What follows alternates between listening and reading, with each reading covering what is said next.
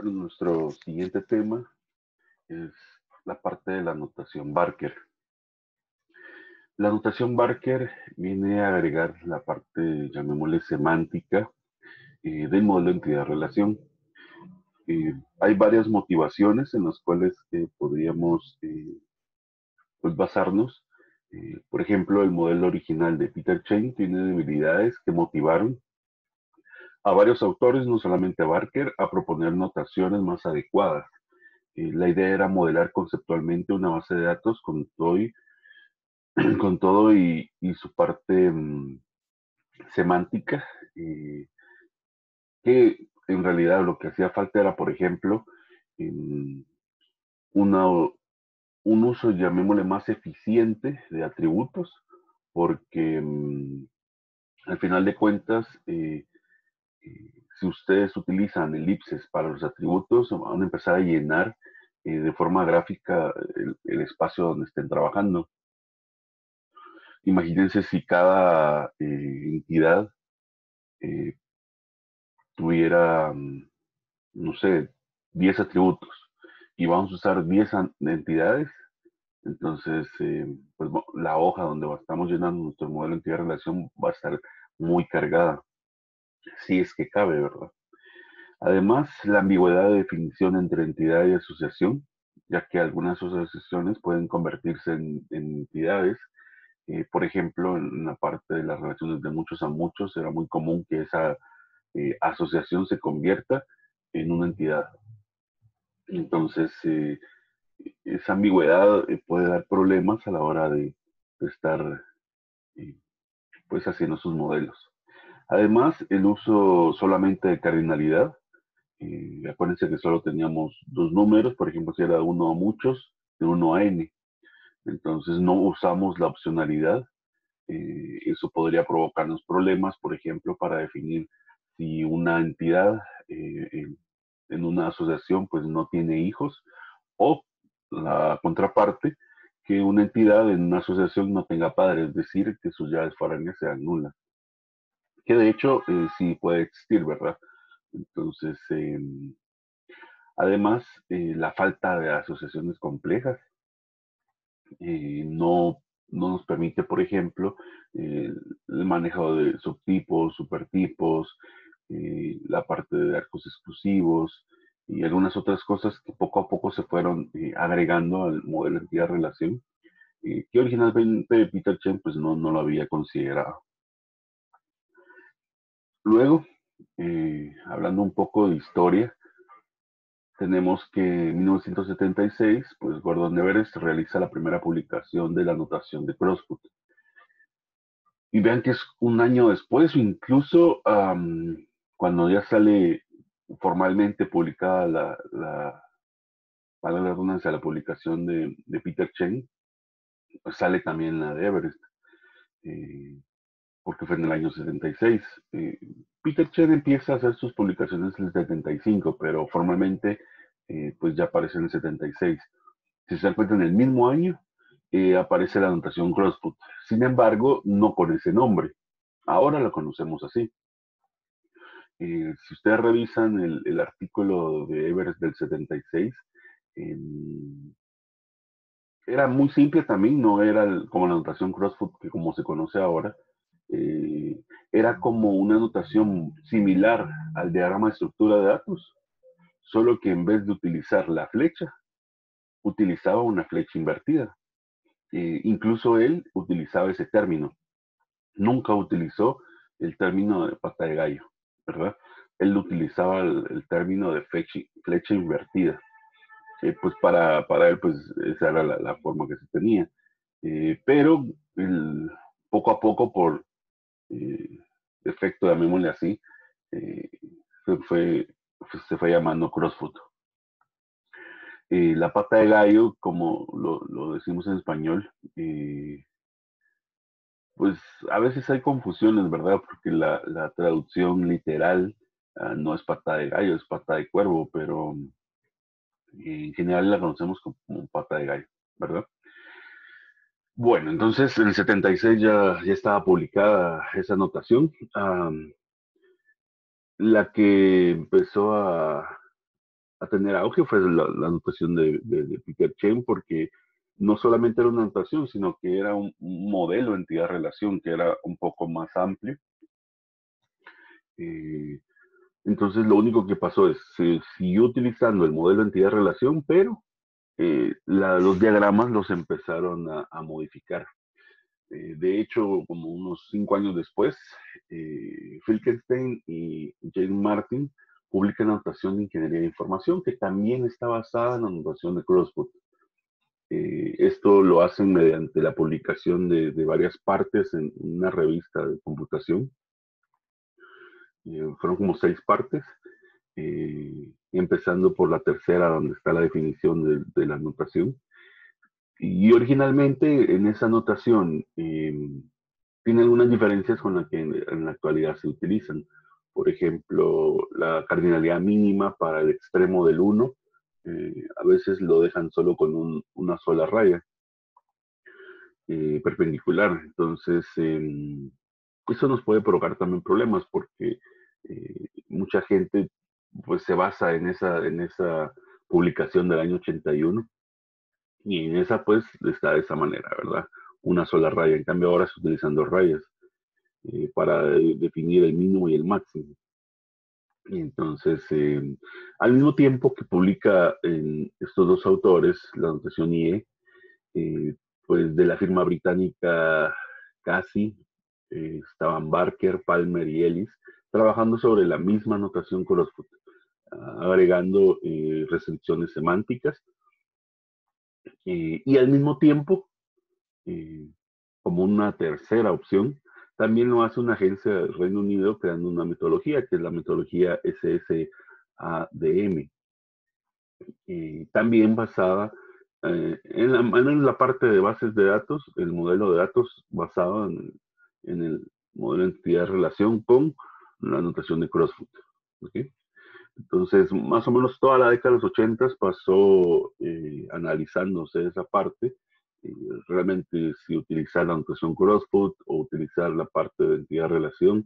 La notación de Crossfoot sufrió varias, eh, varios cambios, hasta que finalmente Richard Barker, que ya, ya había empezado a trabajar en ella desde hace casi 10 años atrás, se unió a Oracle y desde ahí pues publica en 1990 formalmente la anotación junto con varios libros acerca del, del case method de Oracle y de ahí en adelante pues es llamada anotación Barker, ¿verdad? Además la IE también, también queda bastante fuerte. Eh, la anotación original de Gordon Everest eh, pues simplemente fue modificada porque era muy simple, era como una anotación de, de estructura de datos. Y hacía falta, pues, la cuestión de la, de la opcionalidad. Entonces, eh, ya publicada la anotación Barker, pues, eh, pues él era eh, el director del proyecto en la parte de, de Reino Unido también. Entonces, pues Oracle lo toma como como su notación oficial. Y gracias a eso, pues eh, la notación se hace muy, muy famosa. Además, eh, acuérdense que tiene muchas, muchos elementos semánticos eh, agregados al, modelo original de Peter Chen. Entonces, pues es bastante buena en el sentido de, de, poder expresar eso. Si quieren, empecemos a, a describir lo que es una entidad. Una entidad, como ya lo conocíamos, em, pues es aquella eh, representación de una de cualquier cosa de la que se tenga información, específicamente de atributos. Entonces, em, eh, basada en la parte de la, de la, notación de Peter Chen, basada en la notación del diagrama estructura de datos, sigue siendo un rectángulo eh, lo único es de que, si se dan cuenta, dentro de este rectángulo eh, vamos a encontrar eh, algunas diferencias. Por ejemplo, las esquinas redondeadas, que esto es una mm, característica especial de, la notación Barker. Y normalmente cuando uno lo está haciendo a mano, pues es un poco difícil, ¿verdad? Pero si se dan cuenta las herramientas, por ejemplo en Data Modeler, inmediatamente aparece eso así, ¿verdad? También a esta, esta forma de hacer las esquinas redondeadas le llaman softbots, pero hay quienes erróneamente así le llaman a la anotación. Y no, o sea, no solamente es eso, ¿verdad? Eh, eso solo es una forma de, eh, llamémosle, del, de la anotación, pero en realidad eso no solamente es la anotación, ¿verdad? Eh, por otro lado, podríamos tener el nombre de la entidad. si se dan cuenta, la caja no va a estar separada, es decir, es una sola caja rectangular con las esquinas redondeadas, no hay ninguna división dentro de la, dentro de la caja. Eh, vamos a tener hasta arriba el nombre de la entidad. Eh, no hay una convención para definir el tipo del nombre de la entidad, por ejemplo, en cuanto a si son eh, letras mayúsculas, si son minúsculas, cómo estar separado, ¿verdad? El nombre de la entidad, si con guiones o va a estar pegado como, como el estilo de las clases de Java. Entonces, pues lo único que les sugiero es utilizar el mismo estilo. Por ejemplo, si para una entidad están poniendo todas las letras minúsculas, pues entonces para toda la base de datos deberían utilizar la misma, como el mismo estándar. si lo que utilizan son guiones bajos para separar palabras, pues entonces utilizan guiones bajos para todas las demás entidades. Si utilizan el estilo de las clases de Java, primera palabra con inicial mayúscula, de ahí continúa la segunda palabra, si es que hubiera, con inicial mayúscula, pues entonces utilizan esa misma notación. ¿Ok? Dentro de los atributos vamos a encontrar, em, por decirlo de esa manera, tres eh, diferentes formas de mostrarlos. Eh, vamos a encontrar, por ejemplo, si se dan cuenta aquí está, este atributo le vamos a llamar obligatorio y lo vamos a poner dentro con un asterisco para indicarlo. Si es un atributo opcional, eh, pues vamos a ponerle una O minúscula o un pequeño círculo, ¿verdad? Eh, indicando que ese atributo es opcional. Si se dan cuenta, este tipo de cosas eh, en otras notaciones no, no, no, existen. Por lo tanto, por ejemplo, yo no podría asignarle un nulo a uno de los, de los atributos o que acepte nulos, ¿verdad? Entonces, eh, además, si un atributo es obligatorio, eh, por ejemplo, con, el asterisco, eh, también podría hablar acerca de que podría ser parte de la llave primaria con este signo numeral que recuerden, eso COD desde los años 70 pues empieza a utilizarlo como un indicativo de la llave primaria, ¿verdad? Entonces, em, y ahí estamos, ¿verdad? Recuerden que no hay ninguna separación en cuanto a, a la parte de, la caja. Eh, simplemente lo que vamos a hacerlo es de esa forma. Luego eh, podríamos encontrar, por ejemplo, eh, cómo vamos a representar, llamémosle los tipos de asociaciones. Vamos a dejar de, mostrar los atributos, vamos a mostrar solo los nombres de las entidades por cuestiones conceptuales, ¿verdad?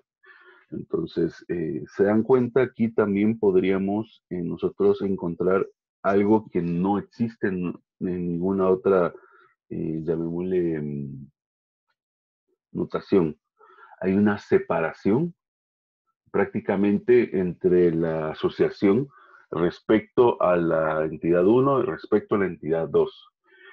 Eh, esa separación que normalmente es en medio de la, de la línea, eh, podríamos encontrar, por ejemplo, ah, para una parte que es opcional, entonces vamos a tener una línea discontinua. ¿sí? Pero si yo lo que estoy hablando es de que si es obligatoria, entonces mi tipo de línea va a ser continua. ¿sí?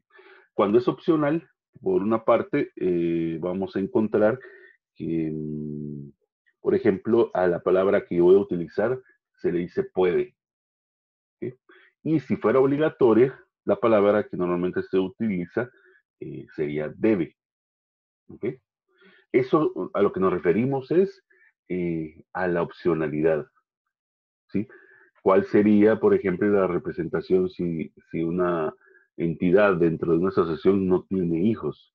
O por otro lado, la parte derecha, donde están muchos, eh, esta entidad, que es la entidad hija, eh, probablemente no tenga ningún padre, entonces yo puedo dejarlo opcional, dejándolo todo discontinuo, ¿verdad? Esa sería la opcionalidad, pero eh, imagínense si mm, la parte de, cardinalidad, porque eso, eso, sería muy importante.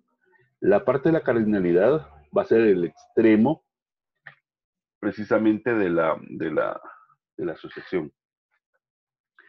Eh, si no tiene la pata de gallo, el extremo es un 1. ¿sí? Sea discontinuo o continuo, no importa.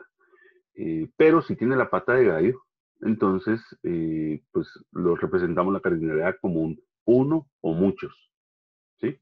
No es un 0, es un 1 o muchos. Porque la opcionalidad es aparte, ¿verdad? Entonces, eh, por ejemplo, a diferencia de algunas otras notaciones que a veces hablan de decir de cero o muchos, en Barker no existe el cero o muchos, solo existe el uno o muchos. Eh, lo que sí puede haber es la opcionalidad. Entonces ahí eh, viene la diferencia. Entonces, em, les decía también de que hay una parte importante eh, por ejemplo, en, definir si esa asociación pues está bien planteada. Entonces, eh, eso nos va a ayudar mucho cuando estén haciendo sus modelos eh, diagramáticos porque se recuerdan en la tarea anterior, estábamos revisando si, si las palabras correspondían. Entonces, eh, lo que hace Barker, y mm, es lo que yo les comentaba que no, no había visto en ninguna otra modelo, eh, de relación, es que plantea un par de oraciones. Por ejemplo, hay una oración en la cual eh, pues Barker la, la, plantea diciendo que va a ir, por ejemplo, eh, de izquierda a derecha. Eso significa que mm, vamos a leer la oración que está aquí abajo. ¿Sí? Esta oración em, que va a ser de izquierda a derecha eh, se lee así. Cada elemento, si, quieren, vamos a ir siguiendo la lectura. Cada elemento de entidad 1, es decir, lo que esté aquí adentro, puede, hasta está doblemente subrayado, y ese puede se está refiriendo a esto estar asociado con uno o muchos es esto. Elementos de entidad 2. ¿Ok? Entonces, si se dieron cuenta, lo primero que hicimos fue leer esto, luego esto, luego esto y por último esto. Y en ese orden. Y eso es lo que dice la oración. Cada elemento de la entidad 1 puede estar asociado a uno o muchos elementos de la entidad 2. ¿verdad? Si todo se escucha bien, es porque la asociación está correcta. Por otro lado, em, podríamos nosotros eh, definir otro tipo de, oraciones que van a ser, por ejemplo, eh, la parte que va a ir de derecha a izquierda. Y de derecha a izquierda, por decirlo de esa manera, lo que vamos a leer es la segunda oración. La segunda oración empieza así. Cada elemento de entidad 2, estamos refiriéndonos a esta entidad, debe, y ahí es donde hablamos acerca de la opcionalidad que está pegada a, lo que estamos hablando, eh, estar asociado a uno y solamente uno. Estamos hablando de la llamémosle, eh, pues el extremo de la asociación, que en este caso, como no hay pata de gallo, recuerden, lo consideramos con un 1. Eh, uno y solamente un elemento de la entidad 1. ¿sí? ¿En qué orden lo leímos? Primero acá, luego acá, luego el extremo y por último la otra entidad. Y ese fue el orden. ¿sí? Entonces, Pues, ¿qué diferencias vamos a, vamos a encontrar?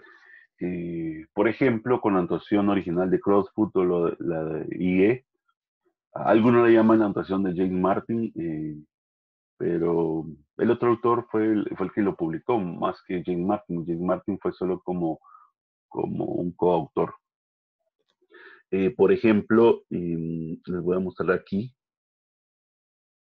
En primer lugar, esta forma discontinua, ah, en realidad, en esta notación Crossfoot lo que hacen es poner un círculo acá. Entonces, eh, esa sería la representación de esto, ¿verdad? Esa, esa forma discontinua la ponen como un cero del otro lado. Entonces, eh, pareciera que estuvieran cruzadas las opcionalidades y mucha gente así lo considera como que eh, son contrarias. Y sí, de hecho lo son. Lo que pasa es de que Barker lo, lo pone la, parte de opcionalidad del lado izquierdo por la lectura. Porque recuerden, si leemos la oración, dice cada elemento de la entidad uno puede. Entonces es como pegado. Es decir, ese puede es referente a la entidad 1.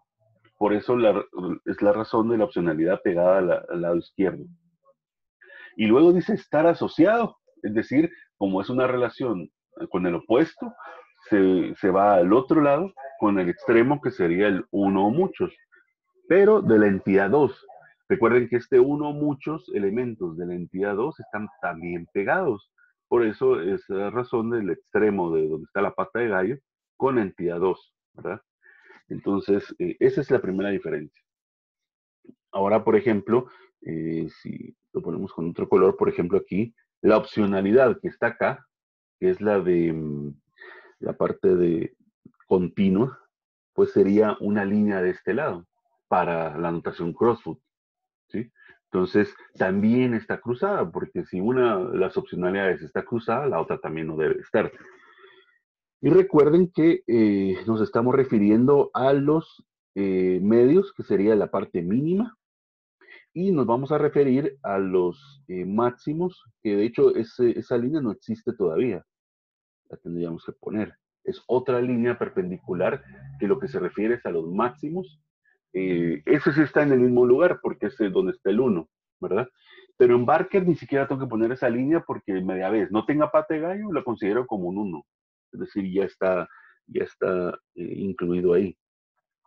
Y esos extremos, que sería el uno y el muchos, pues serían los máximos, ¿verdad? Entonces, em, de, esa, de esa forma podemos distinguir precisamente las dos notaciones. En Barker también existen mínimos y máximos, solo que no están puestos de esa manera. En medio los mínimos, en los extremos los máximos, sino que em, pues básicamente eh, lo hacemos con esa separación que estábamos hablando desde un principio, ¿verdad? Entonces, eh, por ejemplo, hacemos la separación acá y esa separación, eh, pues precisamente nos va a dar esas formas opcionales, ¿verdad? Ahora, ¿qué pasa si todo está continuo?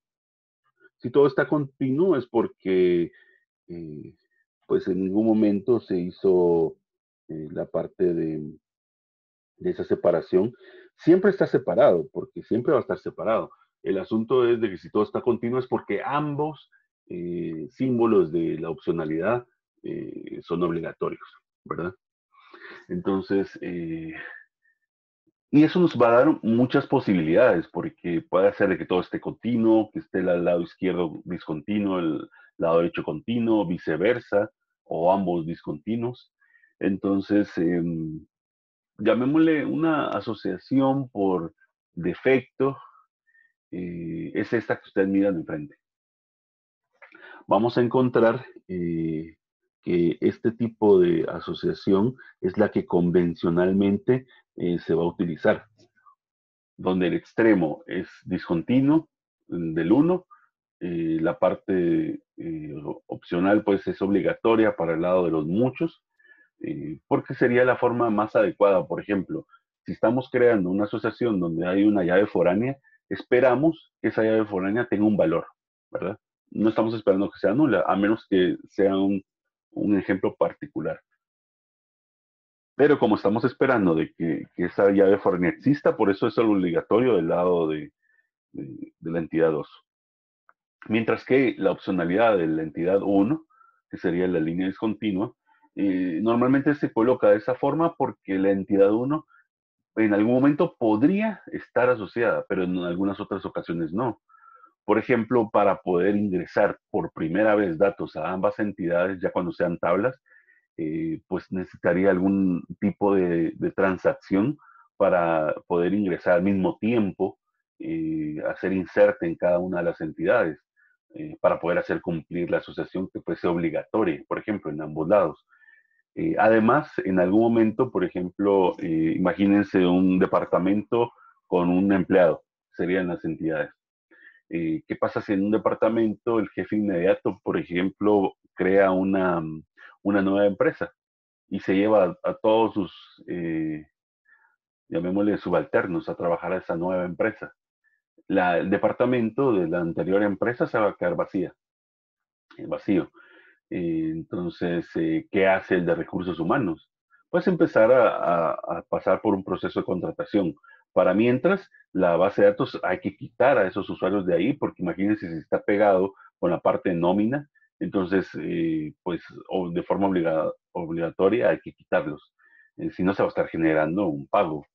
Entonces, se sacan de, esa entidad y por decirlo de esa manera, el departamento no lo podemos eliminar.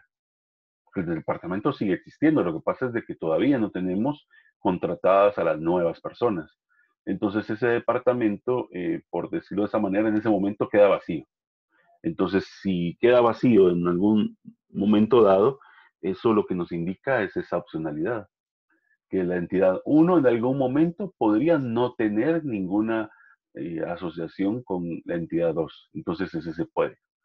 Por lo tanto, de forma general vamos a utilizar siempre este tipo de asociación.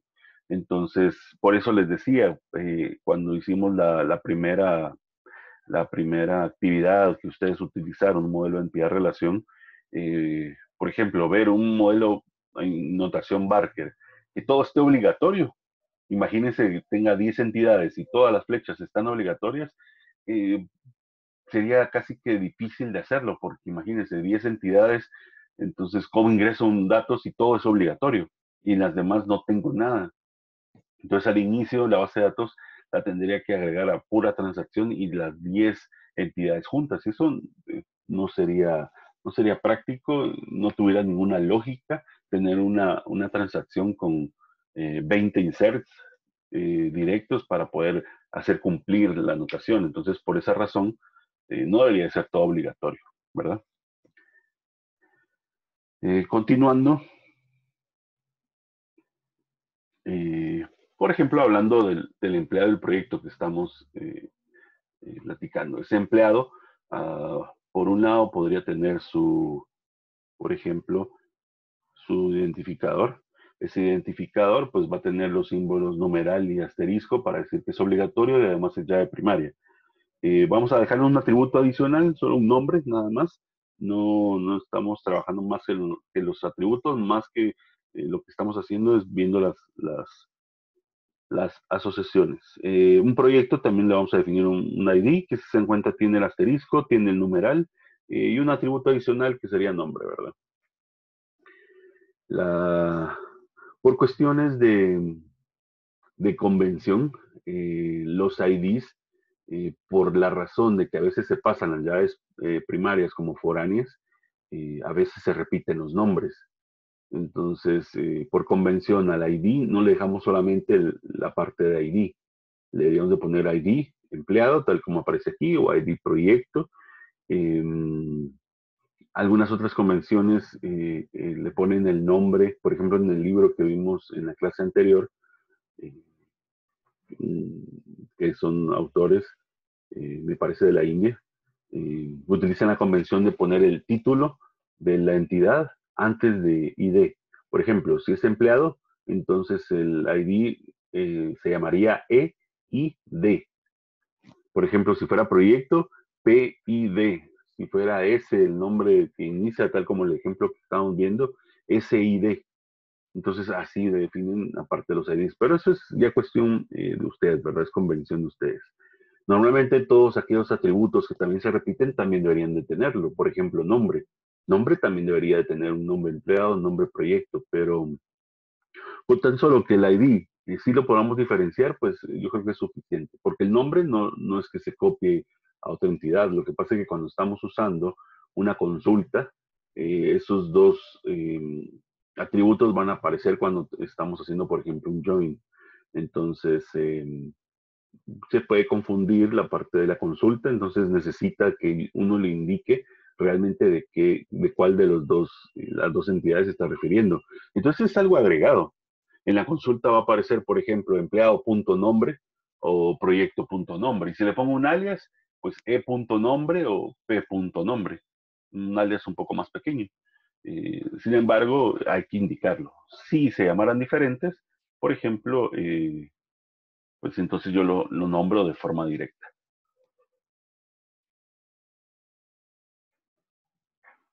Eh, veamos ahora la relación. En cuanto a, la relación, vemos que los extremos eh, son muchos en ambos. Em, eso significa que es una relación de muchos a muchos. Eh, un empleado puede tener muchos proyectos y un proyecto puede estar relacionado a muchos empleados. Entonces, por esa razón es la relación de muchos a muchos. Ah, me han preguntado bastante cuando, cuando hago esta presentación que por qué uno de los muchos eh, no tiene la flecha de en medio. Y básicamente eh, eh, esa flecha de en medio no es que no esté. Lo que pasa es de que Data Modeler, cuando uno lo pone de forma discontinua, si se dan cuenta, las líneas eh, tienen una distancia entre sí. Entonces, cuando ya se está acercando, por ejemplo, a la finalización o al llegar a, la parte del extremo, si casualmente hay tres, llamémosles sublíneas, eh, de ahí viene un espacio en blanco. Y de ahí debería venir otra sublínea, por ejemplo. Pero como ya se acabó, entonces ahí queda. Pero en realidad esto sí lo deberíamos de dejar con esta línea aquí, ¿verdad? Porque es una pata de gallo, ¿sí?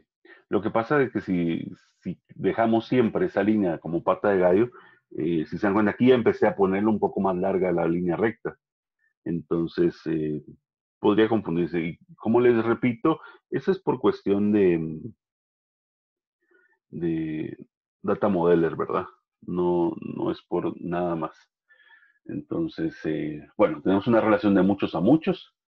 Y la idea ahorita entonces sería que ustedes eh, deberían de, mm, de, leer, por ejemplo, la parte de, del tipo, ¿verdad? De, asociación que se tenga.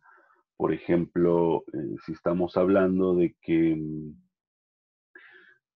un empleado, y si quieren lo, voy marcando y vamos leyendo la oración para que ustedes vayan haciendo.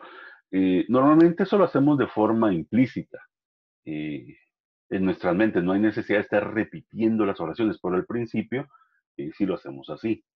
Por ejemplo, habíamos dicho que de izquierda a derecha es decir, con, este, con esta dirección, lo primero que hacemos es leer esta parte. Cada elemento, es decir, cada empleado, segunda parte, puede estar asociado a uno o muchos proyectos. Ese sería el orden. Cada empleado puede estar asociado a, mucho, a uno o muchos proyectos, ¿verdad? Y cuando si decimos la oración, pues está correcto. Cada empleado puede estar asociado a uno o muchos proyectos. Por otro lado, vamos a leer la parte de regreso, que sería de derecha a izquierda, y en ese orden. Cada proyecto debe, porque es un debe, estar asociado a uno o muchos empleados, en ese orden. Cada proyecto debe estar asociado a uno o muchos empleados. Y ahí está la relación de muchos a muchos. Entonces, em, vemos que hay un puede, que solo es del lado del empleado. Eh, eso pues eh, sería la, forma en que se va, se va a plantear. ya teniendo esa oración, pues entonces ya podemos continuar. Recuerden que mm, en el nivel de Data Modeler, em, trabajando en la parte conceptual, eh, no es necesario que ustedes eh, rompan la asociación de muchos a muchos. Eso es cuando ya entramos a la parte lógica. Eh, sin embargo, uno a veces desde un principio, cuando todavía está haciendo la impresión Barker, tiene la costumbre de romperlo, para que queden de una vez siempre relaciones solo de uno a muchos, ¿verdad? de cierta manera, pues está bien, porque al final de cuentas eh, eso nos puede provocar ciertos problemas. Entonces, em, cuando hacemos eso, eh, normalmente lo que hacemos es romperlo con una entidad eh, intersección, según Barker. algunos otros libros le llaman asociativa. el nombre que ustedes quieran ponerle a esa entidad, ¿verdad? Esa que está en medio. Eh, si lo quieren ver de esa manera, estábamos en una relación de muchos a muchos y básicamente lo que vamos a hacer es crear una entidad que de hecho aquí no están las esquinas redondeadas, pero, pero es como que yo ponga aquí una entidad intermedia, ¿verdad? Esa entidad pues básicamente es la que va a romper esa relación de muchos a muchos. Además, otra cosa importante es que eh, vamos a encontrar que la sub eh, que está aquí y la que está acá, en primer lugar hay que darle vuelta. ¿Verdad? ¿Por qué hay que darle vuelta? Porque la, ahora la asociación la vamos a modelar como una asociación de participación, no relacionada al opuesto. Entonces, como es una relación por participación, es decir, empleado va a participar en la entidad de, de en medio la intersección o asociativa. Y el proyecto también va a participar en la en medio. No estábamos hablando de que empleado está relacionado con proyecto por el opuesto y si tiene la llave, por ejemplo, si tiene el símbolo de muchos, pues pongo la llave foránea, ¿verdad? Ahora, ¿por qué razón siempre hacemos esta descomposición? En IPC2 les tuve que haber enseñado esa parte, en el curso de archivos también. Eh, por defecto uno ya, ya considera eso, ¿verdad? Relaciones de mucho a mucho, descomponerlas con esta en medio y darle vuelta a las, a, los, a las eh, cardinalidades. Eh, pero ¿cuál es la razón principal? En primer lugar, cuando lleguemos a, la parte lógica, vamos a, pasar por el proceso de normalización. El proceso de normalización es aquel en el cual eh, va a empezar a hacer restricciones respecto a la asociación que hay no entre entidades, sino entre atributos entonces va a haber una dependencia funcional. ¿sí? Eso lo vamos a ver más adelante, no se preocupe.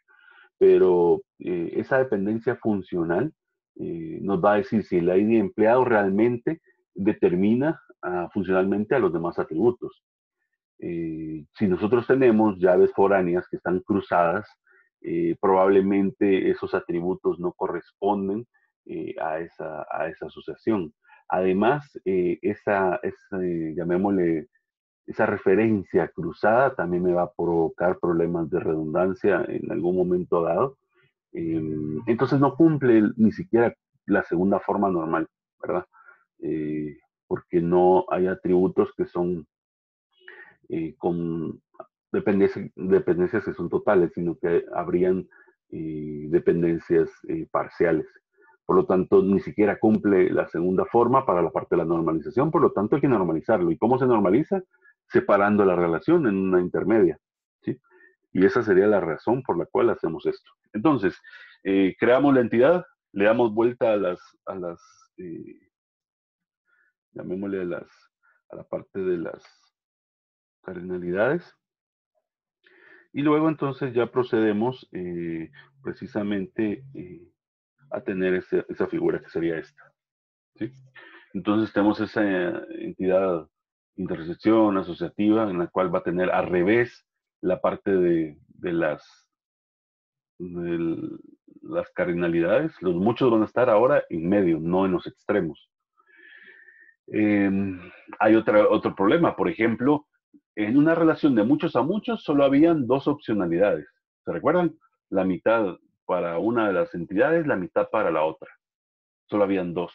Pero cuando yo esa, esa asociación la convierto en dos asociaciones, resulta que cada asociación también va a tener un mínimo, que sería la parte de opcionalidad del empleado, y un máximo la opcionalidad de la asignación. Por otro lado, la otra asociación también va a tener un mínimo del lado del proyecto y un máximo por el lado del, de la asignación. Entonces, em, tendríamos cuatro opcionalidades y cuatro cardinalidades. Y solo traíamos dos cardinalidades y dos opcionalidades en la parte de atrás, en donde está originalmente la asociación. Entonces, ¿cómo hacemos para crear esas, esas opcionalidades y cardinalidades extras? Entonces, eh, pues hay que analizar el, el, caso para ver si realmente eh, es opcional o no. ¿Cómo lo revisamos? Otra vez haciendo las oraciones de Barker, ¿verdad?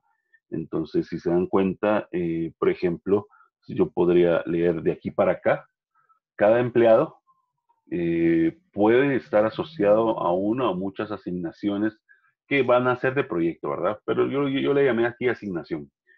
Entonces, em, es un puede, ¿sí? Eh, ¿Por qué es un puede? Esto que está acá. Porque básicamente estamos diciendo que no todos los empleados pueden participar en esos proyectos. Por ejemplo, si fueran proyectos de desarrollo, eh, por ejemplo, los empleados que están en el departamento de, contabilidad, por ejemplo, no van a estar en el proyecto. Eh, por ejemplo, vendedores tampoco van a estar. Eh, van a estar los desarrolladores. Si fuera un proyecto de, tecnología, pues todos los ingenieros, ¿verdad? En sistemas, van a estar, los, son los que van a estar a cargo de esos proyectos. Eh, ¿Por qué del lado de la asignación es obligatoria? Porque si yo lo que estoy haciendo es una asignación, yo no puedo hacer una asignación sin un empleado. Es como, piénsenlo como la asignación de, estudiante con, curso, ¿verdad? Eh, el curso, para que ustedes se lo puedan asignar, no solamente tiene que existir el curso, sino que además ustedes como estudiantes se tienen que asignar dicho curso. Entonces tienen que estar los dos presentes, ¿verdad? Entonces no puede ser opcional. Entonces del lado de la asignación nunca va a ser opcional, ¿verdad? Luego, por otra parte, eh, y se recuerdan, una de las opcionalidades era la que no estaba. Esta, por ejemplo, es obligatoria aquí nos referimos a, que el proyecto debe tener uno o muchas eh, asociaciones en la parte de la asignación. Eso significa que en cada proyecto al menos tiene que haber un trabajador que esté asociado. Eh, esto no, está escrito en piedra, ¿verdad? Como decimos coloquialmente. Eh, acuérdense que en un proyecto, dependiendo del rol de negocio, nos podrían decir, pero fíjese que el proyecto yo lo creo, por ejemplo, seis meses antes y empiezo a definir eh, cuáles son los objetivos, incluso eh, empiezo a hacer cuál es el presupuesto, le asigno recursos, entonces necesito que el proyecto exista seis meses antes que empiece a hacer la asignación. Entonces, si eso es así, entonces yo debería de dejar discontinuo lo último que acabo de marcar. ¿Por qué? Porque primero quiero crear el proyecto y hasta después hacer las asignaciones. Pero ese es un caso particular. Como aquí yo no tengo ningún, eh, por decirlo así, enunciado, entonces yo no podría decirles, eh, ah, sí, sí es de esa manera. No, es el proceso del ciclo de vida que ya habíamos visto, que pasamos, por ejemplo, por la toma de requerimientos. Entonces ustedes vienen, llegan con el cliente, eh, preguntan todo acerca de cuáles son las operaciones, funciones, cuáles son los eh, actores relacionados, y en algún momento van a tener que llegar a ese punto. Eh, preguntarles, cuando ustedes crean un proyecto, de una vez se le hace la asignación de los, de los empleados al proyecto y el cliente les tiene que decir sí o no. Entonces ya ustedes determinan si esto es continuo o discontinuo. Yo lo voy a dejar ahorita continuo, por ejemplo, ¿verdad? porque el proyecto debería tener asignaciones. Por otro lado, la asignación, si yo hago una asignación, significa que tengo que tener ya el proyecto. Por eso son obligatorios, ¿verdad? Eh, por lo tanto, tanto uno para el otro lado, pues debe cumplir esa, parte. Por otro lado, está en la parte de, las, em, de los extremos. En cuanto a los extremos, ya, ya sabemos que le dimos vuelta, ¿verdad? Entonces tengo los extremos de los muchos del lado de asignación y los extremos de uno del lado de cada una de las entidades, tanto de empleado como de proyecto. Ya sea que sea continuo o discontinuo, yo sé que el extremo es un 1. ¿sí? Eso sería para poder leer las oraciones de regreso. Por ejemplo, cuando vamos para allá, eh, eh, podría decir yo si cada asignación debe estar asociada a uno y exactamente a un empleado. Entonces piensen en la asignación, por ejemplo, del curso que acaban de hacer ustedes de vacaciones. La asignación que se dio por eh, la generación que ustedes hicieron incluso hasta un pago, entonces eh, esa asignación debe estar hecha para un solo estudiante, ustedes, para nadie más. Ustedes no le pagaron a nadie más. El recibo que ustedes eh, subieron es el pago de ustedes. Entonces es de uno y exactamente un estudiante, para este caso de un empleado. Si fuera un curso lo que se están asignando, entonces en la asignación, cada, cada asignación es para un curso, no para más de un curso. Si ustedes quieren asignar dos cursos, tienen que hacer dos asignaciones y aparece de forma separada. Eso es cuando hacemos, por ejemplo, la lectura para este lado, ¿verdad? Eh, pues entonces de la asignación hacia proyecto. Entonces, de esa manera vamos a encontrar eh, esas partes de opcionalidad y cardinalidad. Recuerden que estamos, eh, cuando estamos utilizando la notación Barker, estamos en una capa eh, conceptual, es un diseño conceptual. ¿sí? eso significa que incluso podrían no estar utilizando atributos, podría dejar solo los nombres de las entidades. Está de muy alto nivel, ¿verdad? Poco a poco yo puedo ir bajando y agregarle atributos. Eh, cuando ya le agrego atributos y algunas otras cuestiones semánticas, hasta ahí acaba el modelo entidad-relación con la notación Barker. Ya si yo empiezo a definir qué tipos de datos va a tener cada atributo, cuáles van a ser las llaves foráneas, eh, cuáles van a ser las restricciones eh, semánticas del modelo, yo ya me paso a la siguiente capa, que sería la capa lógica o el, diseño lógico, que sería el esquema relacional. Por esa razón aquí abajo eh, les, pongo yo de una vez la parte del modelo relacional, que sería los esquemas. Em, de hecho, estoy usando una forma eh, descriptiva, es decir, textual. Por ejemplo, el empleado va a ser el nombre, en este caso, de, mi entidad, entidad. Cuando yo haga el esquema, el empleado es el nombre de la relación. ¿Se recuerdan la, diferencia de esos términos, verdad? Entonces, el empleado eh, básicamente es mi relación en el esquema relacional. Voy a tener un ID que se lo pongo con el numeral y un atributo adicional cualquiera, por ejemplo, un nombre, que es el que puse en el modelo, entidad relación. Entonces, en el esquema relacional va a tener lo mismo. Como no hay ningún muchos eh, para esta entidad, no hay ninguna llave foránea. Entonces ahí se acaba.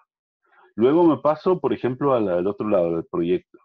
Nombre, proyecto. ID, el ID del proyecto con el numeral para designar que es una llave primaria. Y todo el listado de atributos que tenga. En este caso solo tiene nombre. Pues entonces ahí estaría realizando dicho esquema.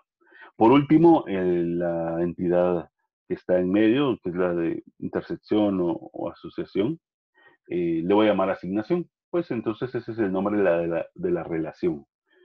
Eh, y ahora voy a tener, por ejemplo, dos llaves foráneas. Porque si ahí está el muchos, yo voy a tener el ID empleado como llave foránea, ID proyecto como llave foránea. Ahora el asunto es cómo lo identifico. Pues normalmente voy a escoger eh, a ambas como llaves primarias. ¿sí? Y si yo hago esto, entonces por esa razón, y eso es con la notación Barker, ¿sí? no se vayan a confundir con la parte de Crossfoot con la notación Barker. Por esa razón, le estoy poniendo estas líneas que son perpendiculares. ¿sí? Eso significa, yo estoy copiando la llave primaria hacia asignación como llave foránea y al mismo tiempo como primaria. ¿sí? Eh, normalmente a esto se le llama una, una asociación identificadora. ¿verdad? En Data Model lo van a encontrar de esa forma. Y de ambos lados, ¿verdad? ¿en qué momento podría ser diferente eh, eso que estamos hablando? Ah, por ejemplo, podría ser cuando, por ejemplo, la asignación, eh, la asignación de estudiante concurso. ¿Qué pasa si ustedes el curso que se asignaron lo pierden por cualquier motivo? Pues lo tienen que volver a llevar para poder terminar su carrera. Eh, imagínense si la asignación yo tuviera una llave primaria eh, en cuanto al ID de, del estudiante y ID de curso. Significa que solo una vez podría ser la asignación, nada más, ¿verdad? Recuerden que desde cierta manera eh, podríamos encontrar em, algunas eh, formas, por ejemplo, de desplegar esa información. Imagínense, imagínense que fuera estudiante curso. Entonces yo, por ejemplo, tengo aquí un estudiante 1, eh, lo voy a poner así, un curso 1, pero puede ser también proyecto, ¿verdad? Entonces, eso sería como la representación de ya en tablas, ¿verdad? Los datos. De hecho, eh, aquí voy a tener más atributos, aquí voy a tener más atributos. Entonces, cuando estamos en medio, pues ah, también va a haber una tabla que va a ser, esta entidad va a ser convertida posteriormente eh, cuando lleguemos a la capa física en una tabla. Entonces, yo lo que quiero hacer es, esto. Y de hecho, como copié las llaves eh, primarias, entonces esta es la llave primaria. Esta sería la llave primaria para el curso, esta sería la llave primaria para el estudiante. Entonces, eh, por esa razón yo E1 con C1, que sería la asignación, lo puedo hacer solo una vez. Cuando ustedes vienen y quieren hacer otra asignación del curso, por si perdieron, eh, de hecho les tendría que decir en la base de datos, no, ni siquiera tendría que dejar insertar esta línea. ¿Verdad? No se puede porque es la llave primaria, no pueden haber llaves primarias repetidas. ¿Verdad? Entonces, eso se quita. Ah, ¿Qué pueden hacer? Pues lo único que podrían hacer es asignarse otro curso. Un curso 2. Ahí sí, eso sí lo permite, ¿verdad? Porque la llave primaria en conjunto, pues es diferente, ¿verdad? Ahora, ¿qué pasa si, si pierden el curso? Entonces, en realidad, esto sí debería dejar permitir el modelo. ¿Cómo hacemos para que eso, eso suceda? Ah, hay varias formas, ¿verdad? Una, por ejemplo, sería que ustedes adicionalmente eh, le agreguen un dato. Por ejemplo, lo voy a poner acá. Agranden, por decir así, esto.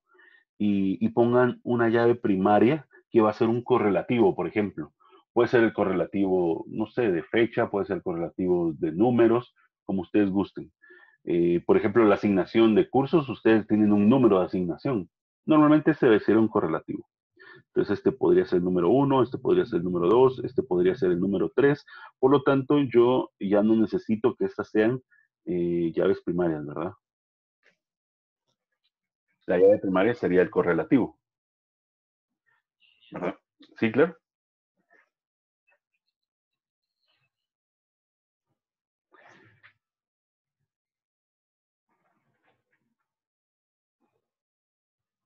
Exactamente.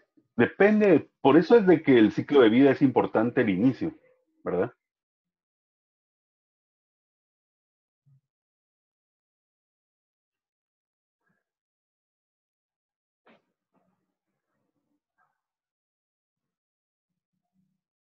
Ah, sí, eh, van a encontrar ese tipo de cosas, eh, y no solamente eh, aquí en la universidad, en la calle también. Eh, les van a decir ciertas cosas, y, pero ahora, ahora pónganse a pensar ustedes, ¿y cómo, hacen esa, cómo harían esa asignación si no le ponen una llave, eh, un correlativo, por ejemplo?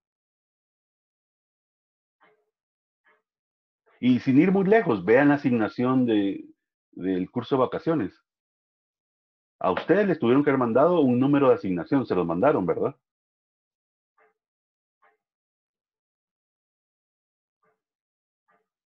Ok, entonces ese número de asignación es la llave primaria. Porque ustedes pueden repetir eh, estudiante en todo caso y curso. Si pierden ahorita bases de datos, van a volver a llevar, y, no solamente el semestre, podrían volverlo a llevar en, en, el siguiente curso de vacaciones.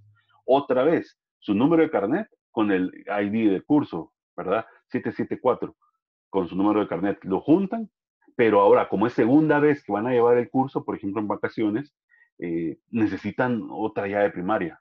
Entonces sí puede tener. Ah, como les digo, en muchas ocasiones los docentes a veces dicen cosas contrarias eh, a lo que realmente los modelos pueden permitir. Eh, mi sugerencia es háganlo con respecto al docente que se lo está enseñando, ¿verdad? No, mm, hay docentes que uno no les puede eh, mostrar los errores en los cuales está. Entonces, sigan, por decir así, sigan en la corriente. Y máximo si están en el examen privado, ¿verdad? Para finalizar ya la carrera. Eh, si esas personas les dicen que las relaciones de uno a uno no existen, pues síganles diciendo que sí está bien, no existen, pero sí van a existir. Y ahorita vamos a demostrar por qué. Em, como les digo, hay que ser un poco más permisibles en ese sentido, eh, y sí existen. Incluso hay un artículo que habla de este tipo de, llaves, ¿verdad? Em, creadas precisamente eh, para designar este tipo de cosas.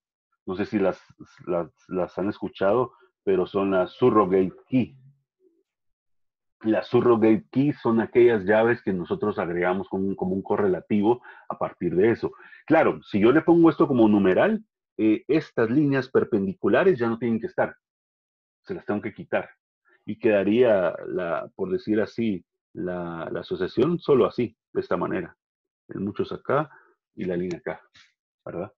Eh, quedaría así. Eso sería la forma correcta de hacerlo si le pongo un correlativo. Pero como les repito, si es, depende de lo que ustedes quieran hacer. Eh, para el caso, no para este empleado proyecto, porque este sería otro modelo, pero el que estamos viendo de estudiante curso para una asignación, sí, esa asignación tiene que tener una ID definitivamente. No hay otra forma de hacerlo. Eh, incluso si le ponen fecha para tipo de semestre y para año, pues esa sería entonces el ID, el número de semestre o el número de año. Porque entonces así ustedes cada semestre, en cada, puede ser del mismo año, diferente año, podrían volver a llevar el curso, si es que lo perdieron, ¿verdad? Entonces, por esa razón, eh, finalmente, para el que preguntó, eh, pues esa sería la, cuestión. Es, depende del rol de negocio, tal como ustedes van a definir eso eh, más adelante, ¿verdad? Entonces, no sé si quedó ahí resuelta la duda. Ok, entonces, si se diera ese caso que yo tengo que poner ese correlativo, pues entonces ya no son llaves primarias estas, y aquí entonces yo tendría que agregar el ID, ah, por ejemplo, del correlativo, eh, que sería mi nueva llave. Y estas desaparecen, ¿verdad? Pero esto es para la, parte del esquema relacional. ¿sí? Eh, como les repito, yo aquí estoy haciendo el esquema relacional, em, pues descriptivo, sencillo, así textual. Eh, en Data Modeler, pues ya eso ya saben ustedes que se convierte en un esquema diagramático, incluso con más información. Eh, normalmente el esquema relacional descriptivo eh, es muy pobre en ese sentido, ¿verdad? No tiene tipos de datos, no tiene eh, la forma de restricción de las llaves foráneas. Sí tiene el nombre, pero nada más, no sé nada más de eso. ¿Verdad? Entonces, no tengo la ubicación directamente de, de, las flechas y a lo que me refiero a las flechas es a esto, ¿verdad? en todo caso, yo tendría que tener una flecha que de este empleado va a este y del ID del proyecto va hacia acá. Solo para indicarme dónde están. Por ejemplo, si fueran muchas eh, entidades, pues cuando se convierten en relaciones, en el esquema relacional, por ejemplo, tengo 15, eh, las llaves foráneas, ahí sí me puedo empezar a confundir. No encuentro rápidamente cuál es eh, la llave foránea de quién. Entonces necesito esas flechas para indicarlo. Por eso es que los esquemas relacionales diagramáticos utilizan flechas para, y la flecha hacia el lado donde está la llave primaria. Es decir, es al contrario del modelo de diagrama de estructura de datos, ¿verdad? De Bachman. Es totalmente diferente. Entonces, eh, pero es cuestión de, estándar. Acuérdense que habíamos hablado de que el esquema relacional no tiene ningún estándar, por lo tanto, pues se da de esa manera. Entonces, eh, continuemos. Eh, esa sería una relación de muchos a muchos, es uno de los, de, los tipos de asociaciones que hay. Luego pasamos a una más simple, que sería la de uno a muchos, que esa ya la habíamos eh, visto cuando enunciamos el tipo de asociación para Barker. Eh, esta sería la asociación, llamémosle, más común que podría estar en todo el modelo, ¿verdad? Discontinuo, continuo. Y donde está el continuo, el muchos. Normalmente el mucho es donde está la entidad hija, es decir, donde va a estar la llave foránea. Ah, otra cosa importante que no habíamos eh, platicado, eh, por ejemplo, no está la llave foránea, ¿verdad? La llave foránea, que va a estar en el lado del muchos, eh, no la vamos a colocar. Es decir, Data Modeler que utiliza la notación Barker tampoco lo usa. De hecho, estas son imágenes de Data Modeler, ¿verdad? Solo que le quité los colores. Eh, no pone la llave foránea, son implícitas. Por ejemplo, si ustedes están diciendo que tienen una asociación y aquí está el, por ejemplo, en muchos, saben que aquí hay una llave foránea de este lado. ¿Cuál es el nombre? Evidentemente, si este es el padre, el nombre es ID departamento. Ese va a ser el nombre de la llave foránea. Lo que pasa es que no lo colocamos porque sería de por gusto, eh, sabiendo que de forma implícita donde está el muchos está. El único problema de todo esto es eh, cuando hay relaciones, por ejemplo, de uno a uno. Ahí sí tenemos problemas porque eh, ¿cuál era la entidad padre? Entonces, pero sí, nosotros lo sabemos. En Data Modeler, ustedes cuando hacen una relación de uno a uno, primero seleccionan al padre y sueltan la línea en el hijo. Entonces saben quién es la entidad hija, pero es, es muy subjetivo, ¿verdad? depende de su rol de negocio, depende cómo hayan hecho ustedes el, el modelo, pues entonces ya deciden ustedes quién es la entidad hija. Y ahí es donde va a ir la llave foránea, ¿verdad? Pero sí, ya no es tan, tan fácil de verlo como aquí. Donde están muchos, llave foránea, ¿verdad? Bueno, entonces, eh, la asociación que estamos modelando es la de pertenencia. Es decir, eh, qué empleados pertenecen a qué departamentos de mi organización. Entonces, era lo que les decía, ¿se recuerdan? ¿Qué pasa si el departamento queda unos seis meses sin trabajadores? Porque los estoy contratando. Ya sea porque sea un nuevo departamento o ya sea porque se fueron los trabajadores. Entonces, eh, pero el departamento tiene que estar ahí siempre. Por ejemplo, ah, si yo le quiero asignar presupuesto, eh, si hay ya activos asociados al departamento, ¿verdad? Eh, tal departamento tiene cinco computadoras.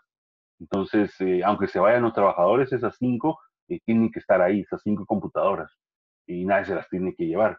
Entonces, eh, es probable que incluso ya tenga hasta inventario de, de, productos, no para vender, sino inventario de productos internos, ¿verdad? Activos de, eh, de la empresa.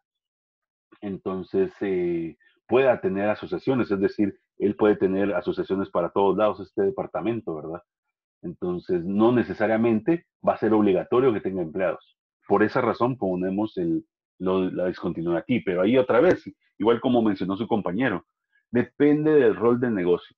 Ahora, si a mí me dice el cliente al cual yo estoy haciendo el análisis, mire, el departamento tiene que tener empleados, si no, para mí no es departamento. Ah, bueno, entonces usted lo pone en continuo, ¿verdad? Ahí ya, ya no hay nada que pensar, es depende de lo que el cliente quiera, ¿verdad? Si incluso si para ustedes el modelado está mal, eh, lo único que pueden hacer es sugerirle a su cliente, mire, mejor hagámoslo de esta, de esta forma. Eh, pero si el cliente dice, no, yo lo quiero así, pues ni modo, ustedes lo ponen como, el cliente diga. Para este caso, si estamos en un curso, pues lo que el enunciado diga. Si el enunciado dice que aquí es obligatorio, pues lo pongo obligatorio. Eh, si el enunciado lo deja abierto, entonces yo lo que hago es tomar la mejor decisión. Y la mejor decisión es dejarlo discontinuo. ¿Verdad? Por lo que hemos platicado, Muchas, eh, son muchas razones por las cuales eso tiene que quedar así. Entonces, em, continuando, eh, tenemos eso que es discontinuo, porque entonces cada departamento puede tener uno o muchos empleados, ¿verdad? Tal como lo hemos platicado. Pero cada empleado, del lado derecho hacia el izquierdo, debe, es esta línea que está ahí, estar asociado a uno y exactamente un departamento. ¿Verdad? Eh, eso significa que él solo puede pertenecer a un departamento. Pero eso es para este enunciado, ¿verdad? Este diagrama que estoy haciendo, eso es lo que está cumpliendo. Eh, alguien puede decir, bueno, pero si cuando ustedes van con su cliente y están definiendo la parte de requerimientos y haciendo el análisis, eh, ¿qué pasa si les dice el cliente que el empleado puede, puede pertenecer a varios departamentos? Porque posiblemente tiene dos turnos un turno en un departamento, otro turno en otro departamento. Entonces, em, pues ahí ya, no es, eh, por decirlo así, obligatorio que sea solamente uno. Pueden ser muchos. Entonces, incluso hay que romper la asociación con una entidad asociativa o, intersección. Entonces, porque hay una relación de muchos a muchos. Un departamento tiene muchos empleados y un empleado puede participar en varios departamentos como trabajador. Entonces, pero es, depende del rol de negocio, ¿verdad? Eh, aquí, como lo estamos viendo de una forma simple, pues un departamento tiene varios empleados y ese empleado solo puede trabajar en dicho departamento. Entonces, por eso es obligatorio, ¿verdad? Eh, ya cuando pasamos a, hacer el, esquema relacional de estos dos, pues, si se dan cuenta, vamos por partes, ¿verdad? Creamos estas dos entidades, pues entonces ya, ya sabemos que el, el esquema relacional tiene un nombre de departamento, tiene su llave primaria que sería el departamento, le pongo la, indicación y los atributos que tenga. Por otro lado, tengo el nombre de, la entidad de empleado que se va a convertir en el esquema relacional en la relación empleado. Tiene un ID de empleado que indica que es la llave primaria, tiene un nombre del empleado, pero además tiene una llave foránea. ¿Cómo sé yo que es una llave foránea? Porque el nombre aparece en otra tabla o en otra relación en ese sentido, ¿verdad? Aparece en otra, entonces por lo tanto, esta es una llave foránea. Es lo único que me puede decir cuando es así textual. En cambio, si lo estoy haciendo diagramático, va a haber una flecha que me indica precisamente, ah, si esta es la llave foránea de una entidad, por ejemplo, empleado, pues entonces está apuntando hacia una llave que es primaria en departamento. Y como sabemos que donde está el muchos, eh, ahí debe ir la llave foránea, pues entonces eh, listo. Bueno, otra pregunta era con respecto a, eh, y realmente debería de ser así, donde está el muchos, la llave foránea. en teoría sí, pero una base de datos, si ustedes la hacen eh, a su modo, de hecho la base de datos no, no, es, no es una base de datos semántica, es una base de datos relacional. Entonces, todo ese conjunto de restricciones no los está tomando. Sí tiene algunas restricciones que yo le puedo ir agregando, pero, pero hablar en el sentido eh, estricto ah, de que donde está el muchos va la llave foránea, no. Yo la llave foránea la puedo poner en departamento y puedo estar diciendo que es una relación de uno a muchos hacia empleado. Y la base de datos nunca se va a dar cuenta de ese error. El error yo lo estoy cometiendo y yo tendría que tener bien definido eso. Entonces, eh, por ejemplo, para ver la, la, parte esa, convirtamos esas entidades, ya las convertimos a, a relaciones, aquí están. Ahora convirtámoslas de una vez a tablas, que ya sería la, más, la capa más baja, que sería la física, que es el script de la base de datos, eh, que yo ya estoy creando la base de datos. Entonces voy a poner algunas ocurrencias de esas tablas, ¿sí? Por ejemplo, departamentos, no pueden haber muchos en una empresa, eh, por lo tanto yo podría tener, por ejemplo, un departamento 1, un departamento 2, hasta un departamento 10, sí mucho, ¿verdad? Y además un montón de atributos aquí, ¿verdad? Puede ser nombre, tal como está acá, o puede tener más atributos. Eh, por otro lado, yo tengo el empleado. El empleado puedo tener un empleado 1, un empleado 2, un empleado 100, si fuera una empresa grande. Puedo tener incluso hasta un empleado 1000.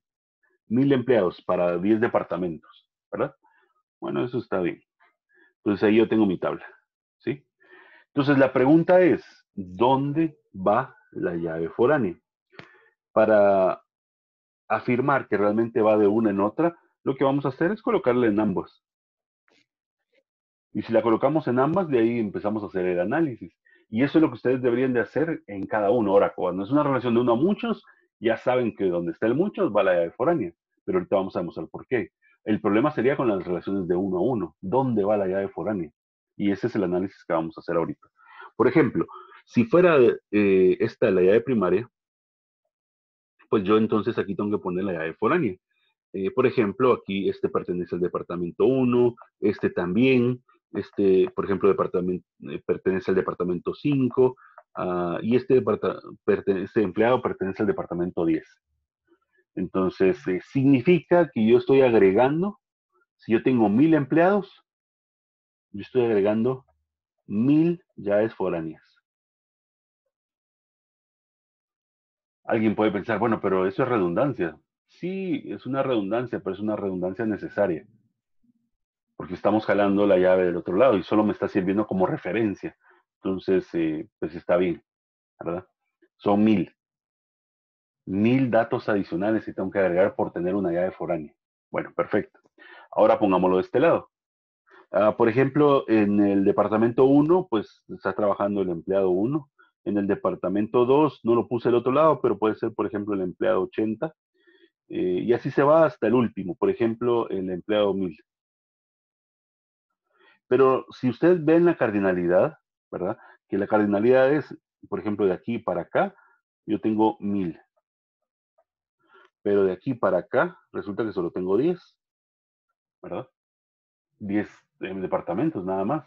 Entonces solo tendría a la par 10 empleados. ¿Qué tengo que hacer para tener los otros 990 em, empleados? Voy a empezar a repetir. Por ejemplo, al empleado 2, que está del otro lado, entonces pertenece al departamento 1. ¿sí? Entonces, eh, yo podría seguir haciendo eso hasta tener todos los empleados, ¿verdad? Y repetir todo esto. Eh, ¿Qué problemas tiene esto? Acuérdense que esta es la llave primaria. Estoy pensando que esta es la llave foránea, ¿verdad? Eh, lo primero que acabo de provocar de este lado, el lado izquierdo, es, lo voy a poner de esta forma.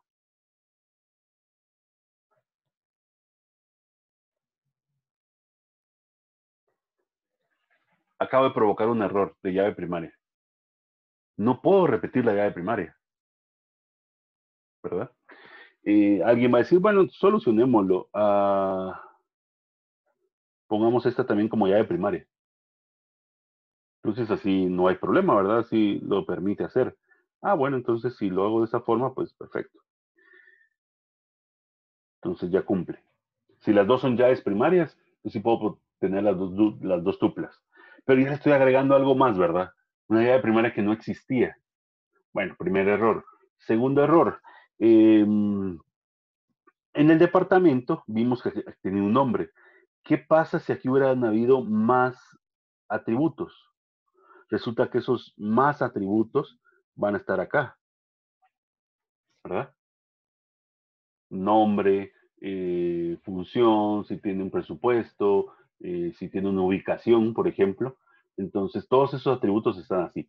Si nos acercamos en estas tuplas, por ejemplo, en estas dos, lo voy a poner aquí abajo porque así tenemos más espacio.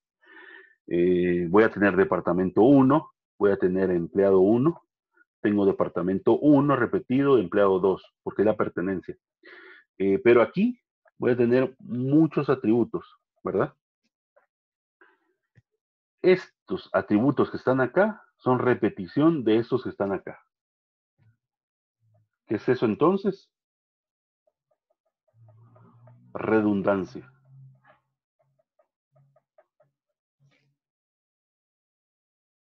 Estoy provocando redundancia y una redundancia muy fuerte.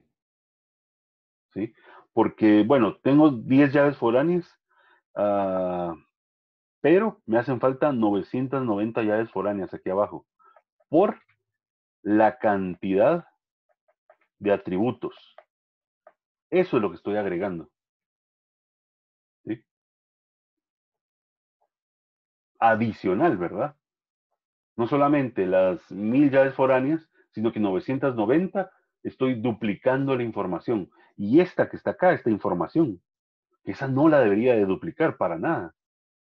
Eso, ahí sí estoy provocando una redundancia y una redundancia que afecta mucho al modelo, ¿verdad? Entonces, eh, por esa razón, aquí no debería estar la llave foránea y aquí sí debería de estar la llave foránea. Aunque sí se crea un poco redundancia, pero muy poca, son mil llaves foráneas, pero nada más.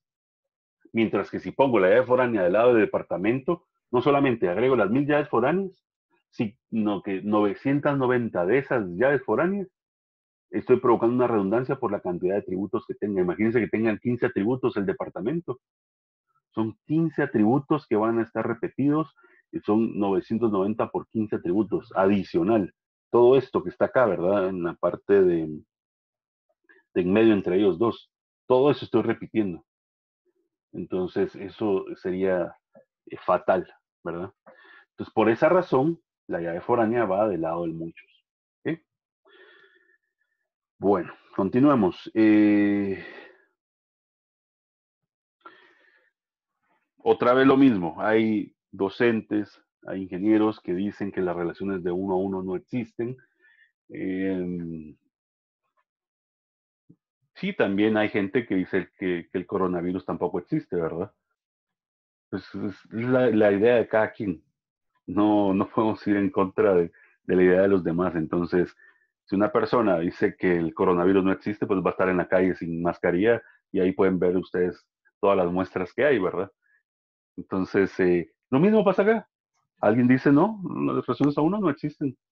Yo la convierto en un atributo, eso es lo que dicen, y no me van a dejar mentir. Yo la convierto en un atributo. Y listo, ya arreglé todo. Sí, esa es una forma de implementar las relaciones de uno a uno y es una forma errónea de hacerlo en primer lugar. por ejemplo, ahora yo lo que quiero es modelar no la pertenencia, sino quiero modelar quién es el jefe inmediato de un departamento. Y solo es un jefe, ustedes no tienen dos jefes, a menos que el rol de negocio sea así, pero en, la mayoría de, empresas es un jefe inmediato, que es el que le firma a ustedes las cartas, el que le da permiso, todo, ¿verdad? Es un jefe inmediato. Entonces yo quiero modelar eso. Entonces, ¿dónde va la información? Ah, por ejemplo, otra vez lo mismo, ¿verdad? ¿Se recuerdan? Empleado 1, empleado 100, empleado 1000. Esa es la tabla empleado. Cuando ya estemos metiendo datos. Ya sé que hay un, una llave eh, foránea del departamento 1, del departamento 5, del departamento 10. Ya sé, ¿verdad? Y claro que hay un montón aquí, hay mil, mil llaves foráneas. Del lado departamento, ah, lo voy a poner un poco abajo aquí porque no así no, lo pongo encima. Solo hay 10, ¿verdad? Entonces, eh, yo quiero decir que uno de los empleados, por ejemplo, el que lo voy a poner para acá, eh, se llama José Pérez. Y si alguien se llama así, eh, disculpen, me lo acabo de inventar, no es nada más. Entonces, el nombre del empleado 1 se llama José Pérez. Así. Entonces, eh, pues para el departamento 1, que es la llave primaria, ¿verdad? El ID, ah, yo quiero decir quién es el jefe. Lo voy a poner de este lado, porque como son 10, solo necesito a 10 jefes.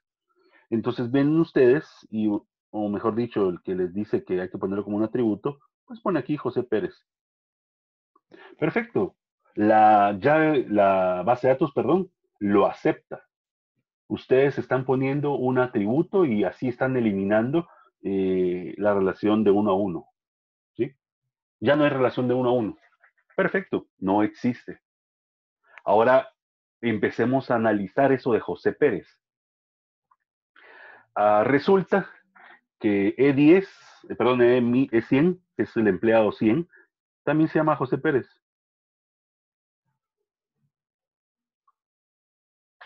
hay dos José Pérez en mi empresa.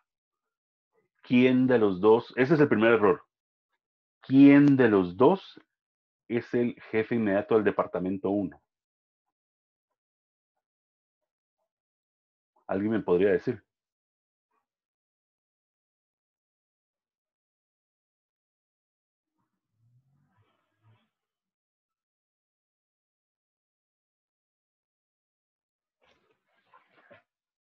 ¿quién de los dos es el jefe inmediato?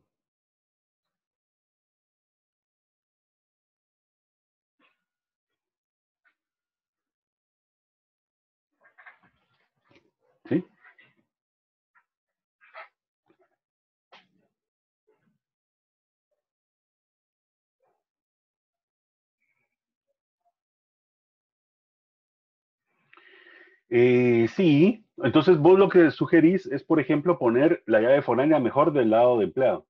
Y así entonces yo sé de qué, de qué departamento soy jefe, por ejemplo.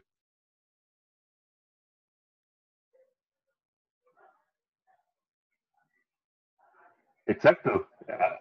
y de hecho ahorita se, los voy a, se los voy a explicar porque al final de cuentas podría estar en cualquiera de los dos lados la llave foránea.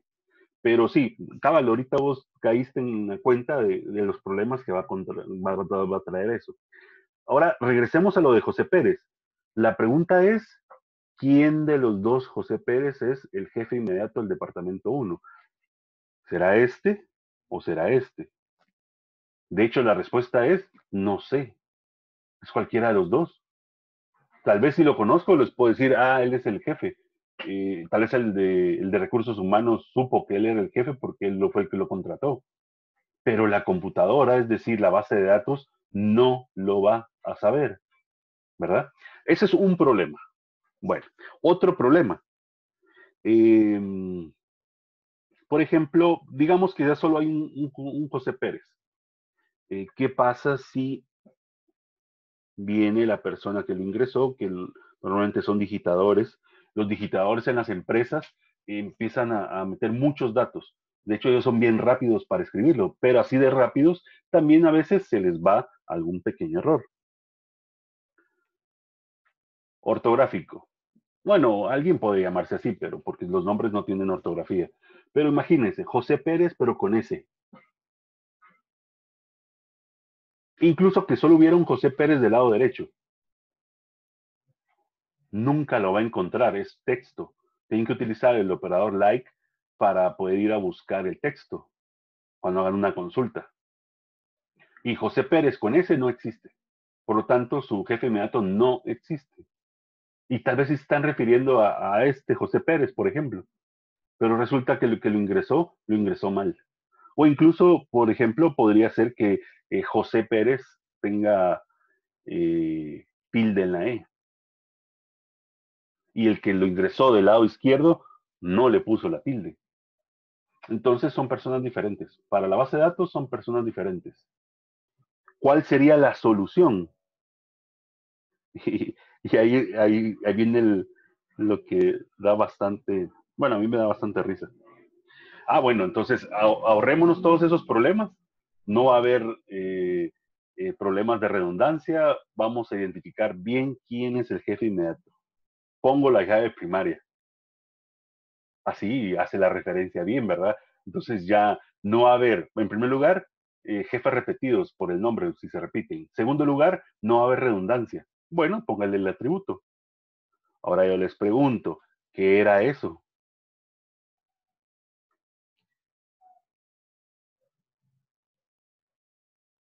era la llave primaria. La están poniendo como foránea en el departamento. Entonces, ah, por ejemplo, si ustedes no tuvieran ningún problema con, las personas que afirman no, no, existir ah, asociaciones de uno a uno, pues esa es la respuesta para ellos. Si ustedes ponen un atributo y ponen la llave foránea, lo que están haciendo es una relación de uno a uno.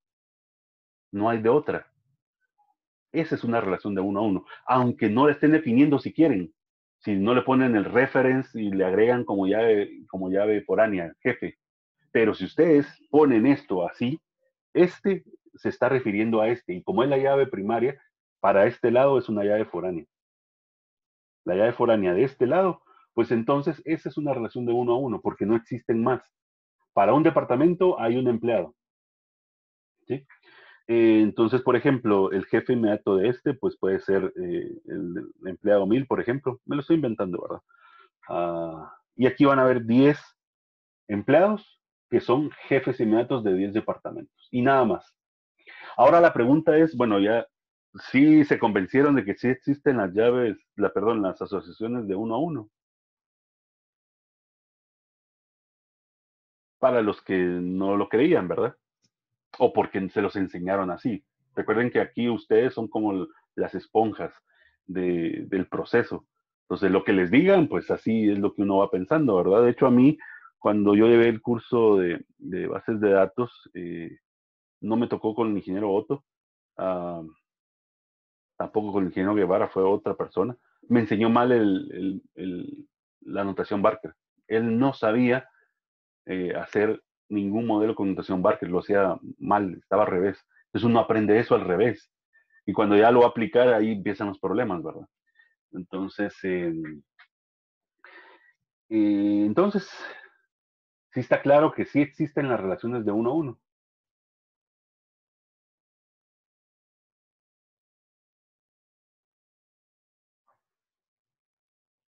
Sí, perfecto.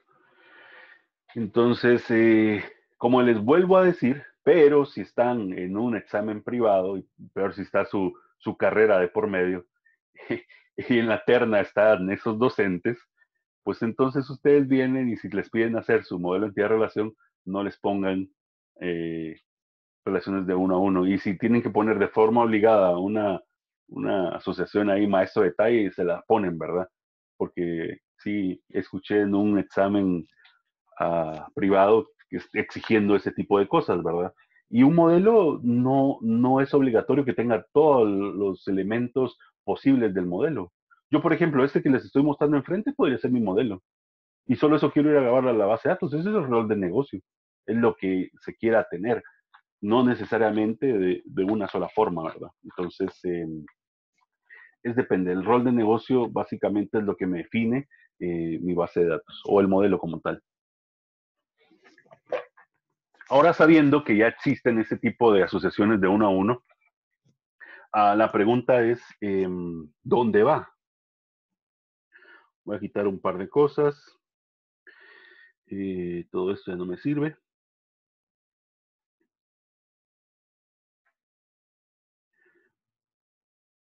Bueno, ya sabemos que sí existen. Eh,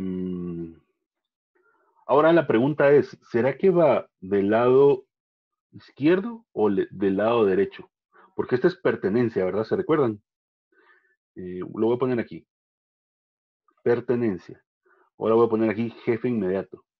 Entonces, eh, por ejemplo, este puede ser el jefe inmediato del departamento 1, ah, pero este que está aquí en medio va a ser nulo. Y muchos nulos, ¿verdad? Este es del departamento 5, el jefe, ¿verdad? Y muchos nulos, porque solo van a haber 10. Y este es del departamento 10, el jefe inmediato. Porque así ya, ya no hay problema, ¿verdad? Es un atributo también del lado derecho, tal como eh, tal vez algún docente les enseñó. Pues es un atributo. Pero ¿qué problema tengo o cuál es la diferencia de usar uno u otro? En primer lugar, aquí voy a tener 10 llaves foráneas, porque son solamente 10 departamentos, y voy a tener 900, perdón, 990. Voy a tener 990 nulos. ¿Sí? Y de este lado, ¿qué tengo? 10 llaves foráneas. Solamente. Solo 10. Entonces, llegó el momento que ustedes tienen que comparar. ¿Qué prefieren? ¿10 llaves foráneas o 10 llaves foráneas y 990 nulos? Está fácil, ¿verdad? Claro, solo 10 llaves foráneas le estoy agregando un poco de, repetición de llaves, pero solo son 10 y son necesarias para poder hacer la referencia.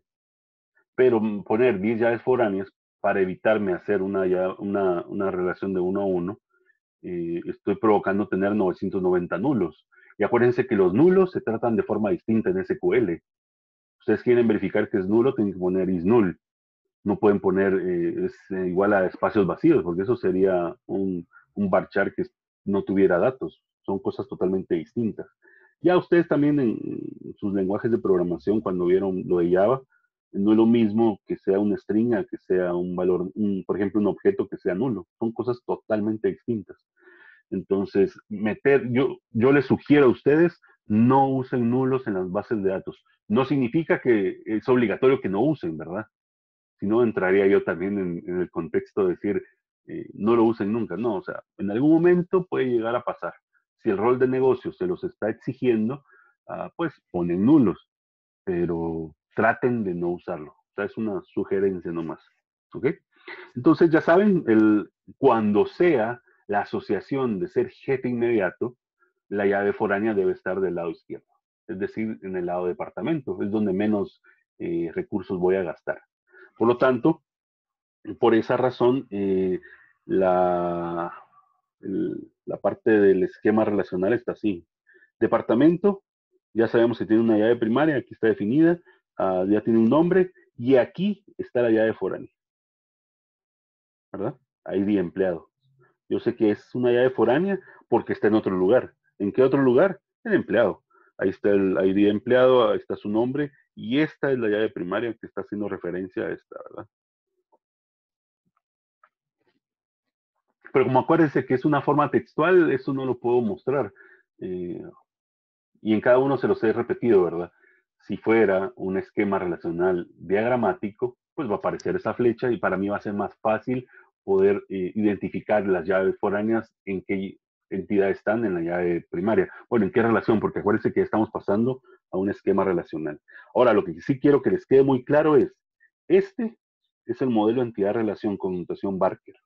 Esta o este es el esquema relacional. Son cosas totalmente distintas. Normalmente a esto lo voy a asociar eh, con la capa conceptual. Es decir, la parte más alta, ¿verdad?, de mi desarrollo. Esta es la capa lógica. ¿Verdad? Y me faltaría la parte física. La parte física ¿qué pongo? La parte del SQL, ¿verdad? Mi script de la base de datos. Entonces, son diferentes niveles, diferentes productos los que estoy eh, generando. Eh, también recuerden que hay un orden, ¿verdad? En la parte más alta le voy a poner desde uno porque lo voy a poner ascendente. Sería esto. Lo primero que tengo que hacer es la parte conceptual, es decir, un modelo entidad-relación. Lo segundo que tengo que hacer es detallar ese modelo por lo tanto, convertirlo a un modelo relacional. Y por último, crear mi script de la base de datos, que de hecho esos son los pasos que en Data Model ustedes van a manejar. Ah, solo que con Data Model recuerden que la capa 1 y 2 la está mezclando y el modelo de entidad-relación está diciendo que es lógico. Pero no tengan problema con eso, o sea, no se confundan. Eh, sí es lógico porque eh, de hecho están poniendo cuáles son los tipos de datos acá, aunque no se miren. Pero cuando ustedes ingresan los atributos en, su aplicación en Data Modeler, de una vez les está diciendo, mire cuál va a ser el tipo. Ah, igual acá, ¿verdad? Cuando ingresan esto, también cuál va a ser el tipo. Entonces ya están definiendo tipos. Cuando hacen la asociación y dicen, ah, aquí va a estar la llave foránea, y de hecho se va a llamar de tal forma, cuando ustedes hacen la línea, y si se llaman igual, hasta les pregunta el alias, que va a tener la llave foránea. O él genera un alias de, la llave foránea. Entonces, eso ya son cosas lógicas. Por esa razón, Data Modeler, cuando estamos en este nivel, llamémosle alto, le llama lógico. Pero solo es por eso, porque sí están metiendo cosas lógicas. Es la forma de la, de la, de la aplicación, ¿verdad? el Data Modeler así trabaja. Ya, si ustedes presionan la doble flecha, el icono de doble flecha azul, entonces ahí sí ya se pasan al modelo lógico, formalmente dicho, es decir, al esquema relacional.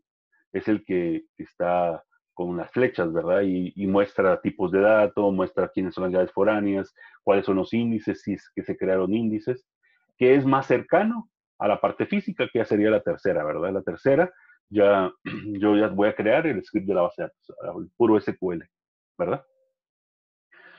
Bueno, entonces aquí ya tenemos una relación de uno a uno y de hecho ya tendríamos las tres. Relaciones de muchos a muchos, relaciones de uno a muchos y relaciones de uno a uno, que son las que ustedes encuentran en Data Modeler. Ah, también ah, lo toman como una, una, asociación más, pero en realidad es la misma, ¿verdad? Eh, el resultado de esta, ¿verdad? Cuando yo hice mm, estas, estas líneas que son perpendiculares. Eh, esas líneas que son perpendiculares, eh, lo que muestran es una asociación identificadora, ¿verdad? Pero esa asociación identificadora puede ser en relaciones, en asociaciones de muchos a muchos, de uno a muchos o de uno a uno inclusive, también pueden ser identificadoras. Simplemente es para decir que voy a copiar la llave eh, primaria eh, a una foránea y va a ser primaria en ese lugar. Entonces, eh, pues básicamente ahí terminaríamos con las asociaciones, pero nos queda una más, que no es un tipo más, es simplemente la definición de cómo lo voy a tomar. Y esas son las relaciones reflexivas, o en algunos libros le llaman recursivas. Em, a nivel de, llamémosle notación, recuerden que esto es una pata de gallo, ¿verdad? Eh, vamos a marcar esta parte aquí. Debería estar algo así, ¿verdad? Eh, una línea adicional. Pero es otra vez, para los que no habían escuchado, es cuestión de data modeler. Es como la forma a la hora de estirar la, asociación, exactamente ahí, pues queda un espacio en blanco, pero es por casualidad. Si se dan cuenta, incluso si se acercan bien, bien a la, a la asociación, la línea hasta se pasa, casi llega adentro de, de, la pata de gallo, ¿verdad? O sea, no, es, no termina antes de la pata de gallo, termina adentro de la pata de gallo. Uh, es porque como es discontinua, o sea, es, si se dan cuenta, en esta parte también se, se mira, ¿verdad? Eh, al principio empieza con, con, la línea. Entonces es porque empezó ahí, de padre a hijo. Entonces empieza eh, lleno, vacío, lleno, vacío, lleno, vacío, lleno, vacío, lleno, vacío, lleno, vacío, lleno, vacío, lleno, vacío, lleno, vacío. Pero fue por casualidad que haya quedado así. Si ustedes estiran la, la, la parte esa o la juntan, es probable que sí, esa línea pueda llegar, ¿verdad? Entonces, solo se lo digo porque a veces sí, en otros semestres me han preguntado eso. ¿Por qué algunas patas de gallo están vacías? ¿Significa algo adicional? No, no significa nada. Es simplemente data model que así lo hace. ¿sí? Entonces, eh, por eso les he hecho alguna, alguna figura en, en medio de esa pata de gallo. Entonces, no se preocupen. La pata de gallo ya sabemos que siempre es así. Y si el extremo es discontinuo, pues sería así. Pero es que por cuestiones de, gráfica, si lo hacemos así y yo termino ahí, no termino la... Si hay una línea recta, ahí queda en blanco, ¿verdad? No termina como la que hice abajo, que esa es manualmente así podría estar, esa línea de en medio. Pero como no es siempre así, por eso es eso. Bueno, entonces relaciones recursivas o reflexivas. Esas relaciones van a ser aquellas en las cuales eh, una entidad se relaciona con sí misma. Uh, ¿Qué tipo de cardinalidad puede tener? Las tres anteriores.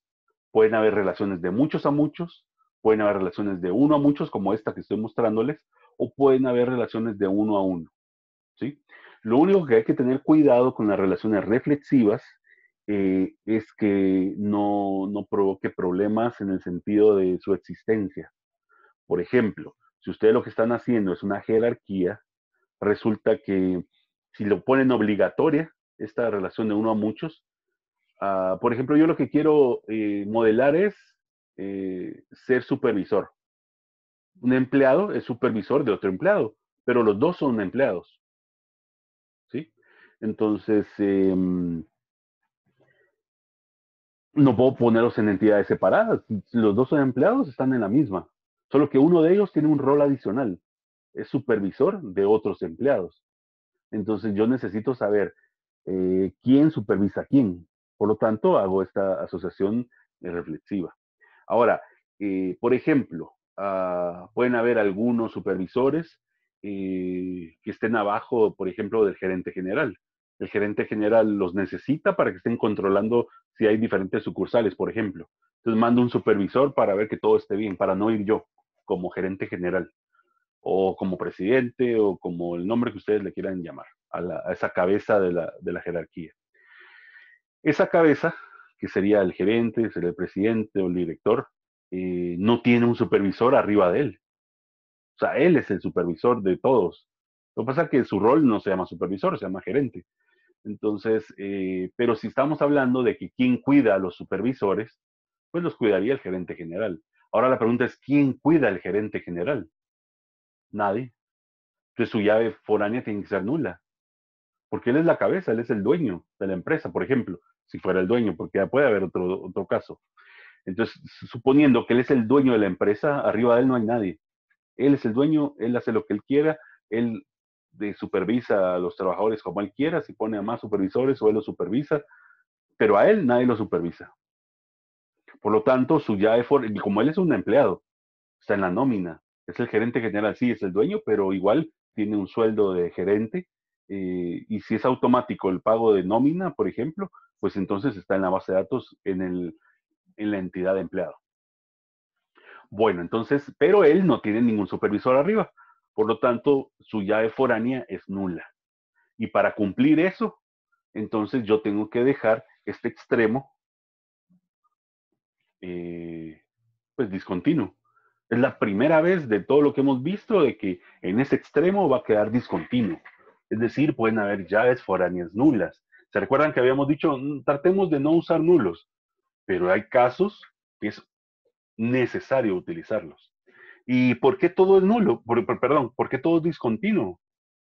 Porque tanto eh, la parte, llamémosle la opcionalidad del uno del empleado como la opcionalidad del muchos del empleado, ambos son discontinuos porque ambos son opcionales. Es decir, ah, los supervisores, hay uno que ya no tiene supervisor, que es el gerente. Pues entonces él tiene una llave foránea nula. Pero no, esa es, es esta, ¿verdad? Pero ahora esta es cuando, por ejemplo, todos los empleados, todos los empleados no son supervisores. Entonces hay, hay algunos empleados que no son supervisores de nadie, están hasta abajo de la jerarquía. Entonces ellos, simplemente están siendo supervisados por alguien más, pero ellos no supervisan a otros. Entonces tiene que ser opcional. Por eso los dos lados son opcionales, para que eso exista. Si ustedes eh, dejan obligatorio esta parte, lo voy a poner así, si lo dejaran obligatorio, eso significa que todos los empleados deben tener un supervisor. Todos. Incluyendo los mismos supervisores, el mismo gerente general. Entonces, si lo dejan así, pues tendrían, no sé, tal vez poner al gerente general, al supervisor, a él mismo y hacer cumplir esta regla, pero eh, estamos haciendo diferentes cosas, ¿verdad? Entonces, normalmente lo dejamos así, discontinuo. El muchos lo que significa es que un supervisor puede estar supervisando a varios empleados, por eso es el muchos, ¿verdad? Entonces, ese es el tipo de relación. Si nos pasamos, por ejemplo, a analizar ya el esquema relacional de este modelo, pues el nombre eh, es empleado. De hecho, ya existía el esquema, pero mm, simplemente le estoy agregando más cosas. Por ejemplo, ya sabíamos que tenía un ID, ah, ya sabíamos que tenía un nombre, pero ahora tiene adicionalmente una llave foránea. Aquí sí el nombre, ¿cómo le hago para saber dónde está la llave foránea? Si le tuve que poner un alias, porque no, acuérdense, los, según la teoría relacional, los atributos no se pueden llamar igual. Y como no se pueden llamar igual, pues le tengo que poner un alias. Por ejemplo, un sub de supervisor. Entonces, eh, ¿cómo sé yo que esta es una llave foránea? Ahí es donde vienen los problemas de la parte descriptiva, ¿verdad? No lo sé. Probablemente es de este, porque se parece. Hay de empleado con ID de empleado sub. Y si no hay otro de empleado sub en otra entidad, en otra relación, pues entonces es la llave primaria de esta. La flecha iría para acá, ¿verdad? A, él mismo. Entonces, por esa razón, en, el esquema relacional descriptivo, también puede estar este tipo de asociaciones que serían reflexivas. ¿ok? Entonces, ahí estaríamos con la parte de, la notación Barker. Ah, cada vez que nosotros hagamos algo, también podemos pasarnos eh, directamente al esquema relacional. Eh, y finalmente, todo junto estaría esto así.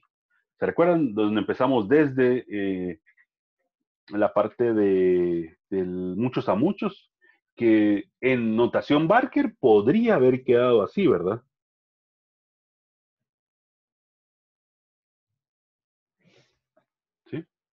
sea, podría haber quedado, lo rojo que acabo de marcar, podría haber quedado así. No hay obligación de romper esa asociación en, la capa conceptual.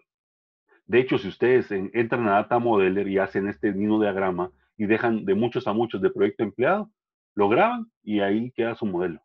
Ya, si lo quieren pasar al esquema relacional, automáticamente, eh, estaba utilizando el otro, automáticamente em, les crea esa entidad, ¿verdad? Entonces, eh, ¿cómo sabemos cuándo usar uno o cuándo usar otra? Es decisión de ustedes, ¿sí? Si a ustedes les gusta de una vez romper las relaciones de, de muchos a muchos y dejar la, entidad intersección o asociativa ahí adentro, perfecto. Lo pueden hacer, ¿sí? En el modelo conceptual Eh, de hecho, este es un modelo conceptual también. A que haya roto una relación de muchos a muchos, la base de datos ni siquiera se va a enterar de que había una relación de muchos a muchos. Entonces, lo puedo dejar así. O, otra vez lo mismo, ¿verdad? Si ustedes gustan dejarlo indicado de muchos a muchos, perfecto. Ya esto no estaría, ¿verdad? Esta, esta entidad la podría obviar y estaría correcto. Siempre en la notación Barker hasta arriba, ¿verdad? En, el nivel conceptual. Ya cuando baje al nivel lógico, eso ya no es posible. Pues ahí sí tengo que romperla y de hecho Data Modeler la rompe cuando, cuando hacen eso. Eh, y les muestro solo para hacer la indicación el esquema relacional descriptivo. ¿Se recuerdan que en todos les había puesto el, descriptivo? Este es el diagramático, perdón. Eh, en todas les puse el esquema relacional descriptivo siempre abajo del, diagrama. Siempre abajo, siempre abajo, siempre abajo. Ahora les muestro el diagramático, que es el que genera automáticamente Data Modeler. ¿Cuál de los dos tienen que utilizar? El que ustedes gusten. Si les gusta el que usa Data Modeler, pues ese sería su esquema relacional, este que estoy mostrando ahorita, ¿verdad? Eh, ¿Qué eh, particularidades tiene? Que se diferencian de la notación Barker. Primero las flechas, ¿verdad? Ah, vamos a poner esto acá. Primero las flechas. Eso no existe en Barker, ¿verdad? Flechas no hay en Barker. Aquí sí, porque está yéndose a donde está la llave foránea, va la flecha hacia donde está la llave primaria, solo para hacer la indicación de dónde está. Por esa razón aquí se recuerdan, están cruzadas. Una flecha para arriba y una para abajo. ¿Por qué? Porque uno eh, tiene la llave foránea en, empleado y otro tiene la llave foránea en departamento. Entonces hay una y una, ¿verdad? Eh, en la reflexiva, pues no hay tanto problema. En la parte de la asignación, pues las dos flechas van hacia las otras eh, entidades que serían, ah, perdón, a las otras relaciones que serían empleado y proyecto. Entonces también está bien. Eh, otra cosa importante, tipos de datos, ¿verdad? Y eso ustedes lo tuvieron que haber ingresado desde antes, antes de generar este esquema relacional. Por esa razón es de que Data Model le llama a la notación Barker lógica, porque ustedes ya tuvieron que haber puesto todo esto.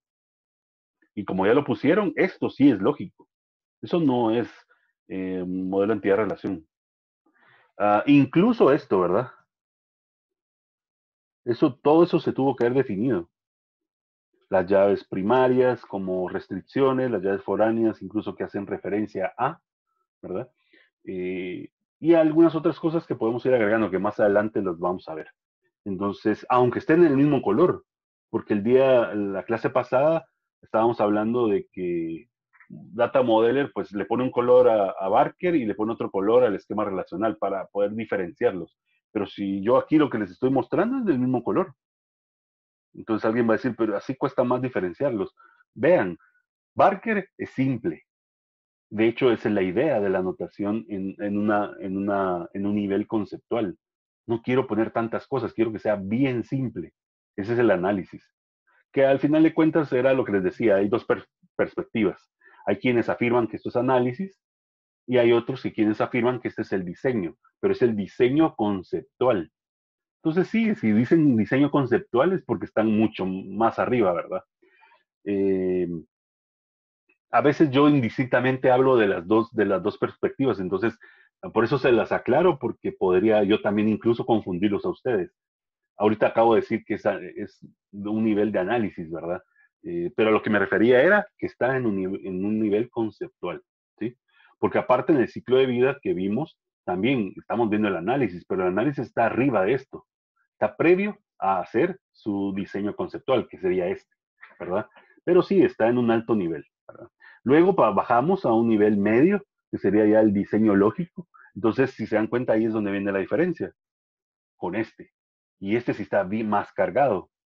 Este es el diseño lógico, es el esquema relacional. ¿sí? Fue lo que Code definió, mientras que esto fue lo que Peter Chen definió incluso son autores diferentes. Y bueno, Peter Chen agregado con Barker, porque es la anotación Barker. Pero incluso en el libro de, Barker, él, menciona el término modelo entidad-relación. O sea, él lo que está haciendo es utilizando el modelo entidad-relación, solo que le está agregando una anotación diferente. Entonces, esto sigue siendo un modelo entidad-relación. Siempre. Es un modelo entidad-relación, solo que con notación Barker, ¿verdad? Y es conceptual. Por otro lado, em, está el esquema relacional, que es este. Y esta es la parte lógica, ¿sí? Es el esquema relacional. Y luego ya, eh, pues de aquí, en Data Modeler les va a aparecer un icono que, es el, símbolo de una base de datos, que es un, es como un cilindro, ¿verdad? Con un par de líneas adentro. Cuando ustedes apachan ese icono, les va a preguntar qué DMS quieren utilizar para la generación. Y a partir de este esquema relacional que les estoy mostrando ahorita, generan el código para SQL. Y lo generan de forma automática, ¿verdad? Entonces, em, ya esa sería la parte física, ¿verdad? Eh, pues íbamos a hacer una hoja de trabajo aquí, pero ya el tiempo se nos está agotando. Entonces les voy a dejar esto como tarea. Eh, esta hoja de trabajo ya no me la tienen que entregar el día de hoy, sino que hasta la próxima clase. Entonces, em, dice elaborar el modelo de datos con notación Barker para un sistema que administra los datos de las carreteras de un país. Eh, para hacer cálculos, proporcionar una guía turística de las carreteras, incluso para tener, eh, por ejemplo, ah, cuál es el kilometraje, etcétera, etcétera, etcétera. Algunas indicaciones, las carreteras están compuestas por al menos un tramo. Y eso ah, de una vez ya les está indicando algo, ¿verdad? Es obligatorio que tenga un tramo mínimo. Entonces la, asociación, la cardinalidad, perdón, la opcionalidad debería de ser obligatoria. ¿sí? Eso es lo que significa por al menos un tramo. Cada carretera tiene una categoría única que indica si es internacional, nacional, regional, ya les digo yo algunas cosas. Eh, esto nos estamos refiriendo como a un tipo de catálogo, ¿verdad? La categoría. Eh, otra vez, eh, hay quienes les van a decir, ah, pongamos esto como un atributo. Hay quienes les pueden decir, no, mejor pónganlo como una entidad adicional y así pues puede escalar, puede tener escalabilidad el, modelo, ¿verdad? Ah, de hecho, las dos tienen razón. Eh, otra vez a lo mismo, ¿verdad? Hay que ser un poco más permisibles y decir, bueno, usted lo quiere poner como atributo, bueno, póngalo como atributo, pero garanticemos, o mejor, digamos, mantengamos eh, la consistencia de la base de datos, es decir, no le agreguemos redundancia.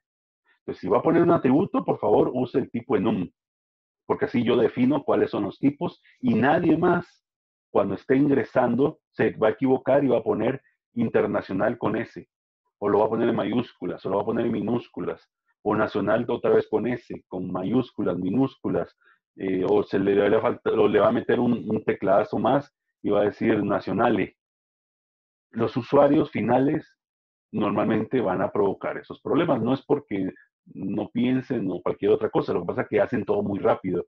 Por ejemplo, los digitadores, no sé si alguno ha visto en los bancos, por ejemplo, los que están procesando los, los, expedientes, no, no abajo, ¿verdad? En los cajeros o, los de servicio al cliente, no.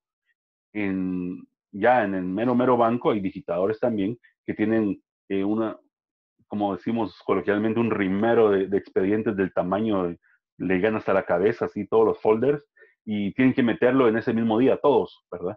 Pues están pero rapidísimo ingresando todo eso. Eso en algún momento, si no son tan experimentados, van a provocar errores, definitivamente.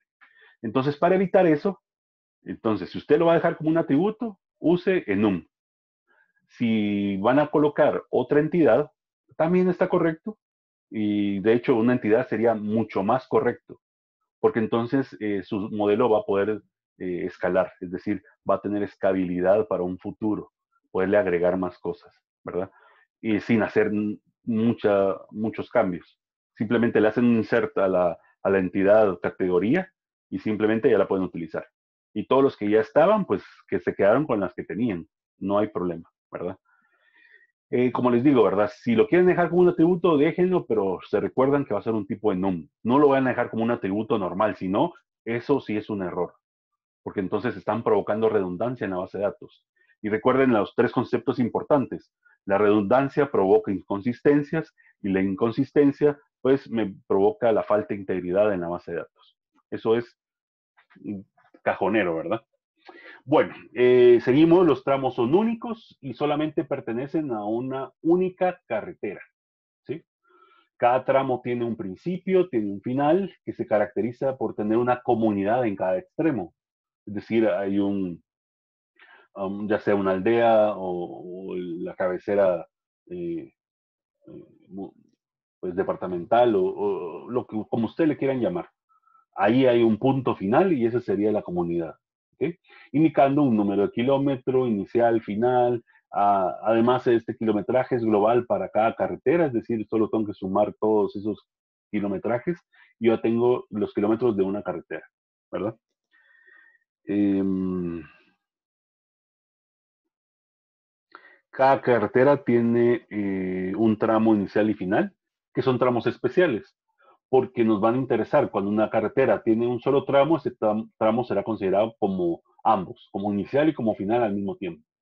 A la institución que estamos eh, modelando eh, este, este asunto, ahorita platicamos de eso. Ah, le interesa conocer si en cada uno de los tramos especiales, ¿verdad? Finaliza la carretera o confluye hacia otra. Ese término de confluir eh, se refiere a que si yo terminé mi carretera, eh, ¿qué pasa en ese punto final? O sea, ¿empiezo otra? ¿O simplemente se acabó la carretera y ya no hay nada más? Ya empieza el bosque, por ejemplo. Entonces, eh, a, eso es lo que me estoy refiriendo con, con que finaliza la carretera o si confluye a otra. Y de hecho podría tener otro nombre. si ustedes han visto, por ejemplo, en Guatemala están codificadas las carreteras. Tiene un inicio y tiene un fin. Y un tramo de una de esas carreteras, pues, confluye hacia otra, ¿verdad? Con esto vamos a decir precisamente lo que les estaba diciendo. Eh, ¿Qué tramo confluye a cuál carretera? Em, cada comunidad pertenece a un municipio, cada municipio a un departamento, tal como en Guatemala se trabaja. Las comunidades pueden ser puntos de intersección eh, porque no necesariamente va a estar incomunicada las, las, em, las comunidades intermedias. Esas comunidades eh, podrían pasar otra carretera en medio y formar lo que en Guatemala eh, conocemos como los cuatro caminos, ¿verdad? Y hay varios cuatro caminos por todos lados, ¿verdad? En oriente, en occidente, norte, en sur, hay cuatro caminos y hasta así se llama el lugar, ¿verdad? Cuatro caminos. Y pues esos son puntos de intersección donde pasan dos carreteras, ¿verdad? Entonces, eh, eso puede existir. Para que les quede un poco más claro, eh, lo que tienen que hacer, les muestro acá. Una carretera, em, pues sería todo este tramo que está acá. Esa es carretera 1, compuesta por el tramo 1, tramo 2, tramo 3. Cada uno de los tramos, habíamos dicho, tiene una comunidad inicial y una final. Y la final de ese tramo es la inicial del tramo 2 y tiene una final y la final del tramo 2 es la inicial del tramo 3 para tener otra final, que sería esta. Esos puntos suspensivos significa que puede pasar una carretera acá. Entonces, esta comunidad que está acá eh, puede ser una comunidad de intersección, porque sobre esa comunidad pasan varias carreteras. Incluso puede pasar una aquí, puede pasar otra acá, no importa, ¿verdad? Eh, y pueden llamarse de diferente forma, carretera 1, carretera 2, carretera 3. Entonces ahí es donde viene la, la cuestión de decir si confluye o no. Por ejemplo, esta que está acá, esta comunidad, que es la comunidad 4, eh, confluye, o sea, el tramo confluye a esta carretera que es la carretera 3. Entonces, el tramo 3 de la carretera 1 confluye hacia la carretera 3, que es esto que está acá. Igual puede confluir hacia esta, puede confluir hasta hacia esta, que no las pongo porque eh, no sé cuántas voy a tener. A las carreteras podrían tener n tramos. Aquí este caso tiene 3 aquí tiene dos, aquí solo tiene un tramo. Puede ser de esa manera, ¿verdad? Eh, puede confluir hacia la derecha o puede confluir hacia la izquierda, no importa, ¿verdad? Igual aquí también puede pasar otra carretera. Aquí también puede pasar otra. Eso no importa. Y además, otra cosa importante, pueden haber comunidades que están aisladas. No hay carreteras. Eso es muy importante para, para ver las, las opcionalidades. Eso nos ayuda a definir las opcionalidades en un modelo. ¿okay? Entonces sí, puede haber una comunidad incomunicada. De hecho, en Guatemala hay varias que necesitan caminar para poder llegar a, dicha comunidad. No hay carretera. Entonces sí existen. Eh, pues básicamente ese sería el modelo, por favor lo, lo, hacen. Ahora sí ya utilizan Full Data Modeler, ya ninguna otra eh, aplicación más, solo Data Modeler. Y necesito que hagan el modelo de entidad-relación con notación Barker, es decir, la parte conceptual.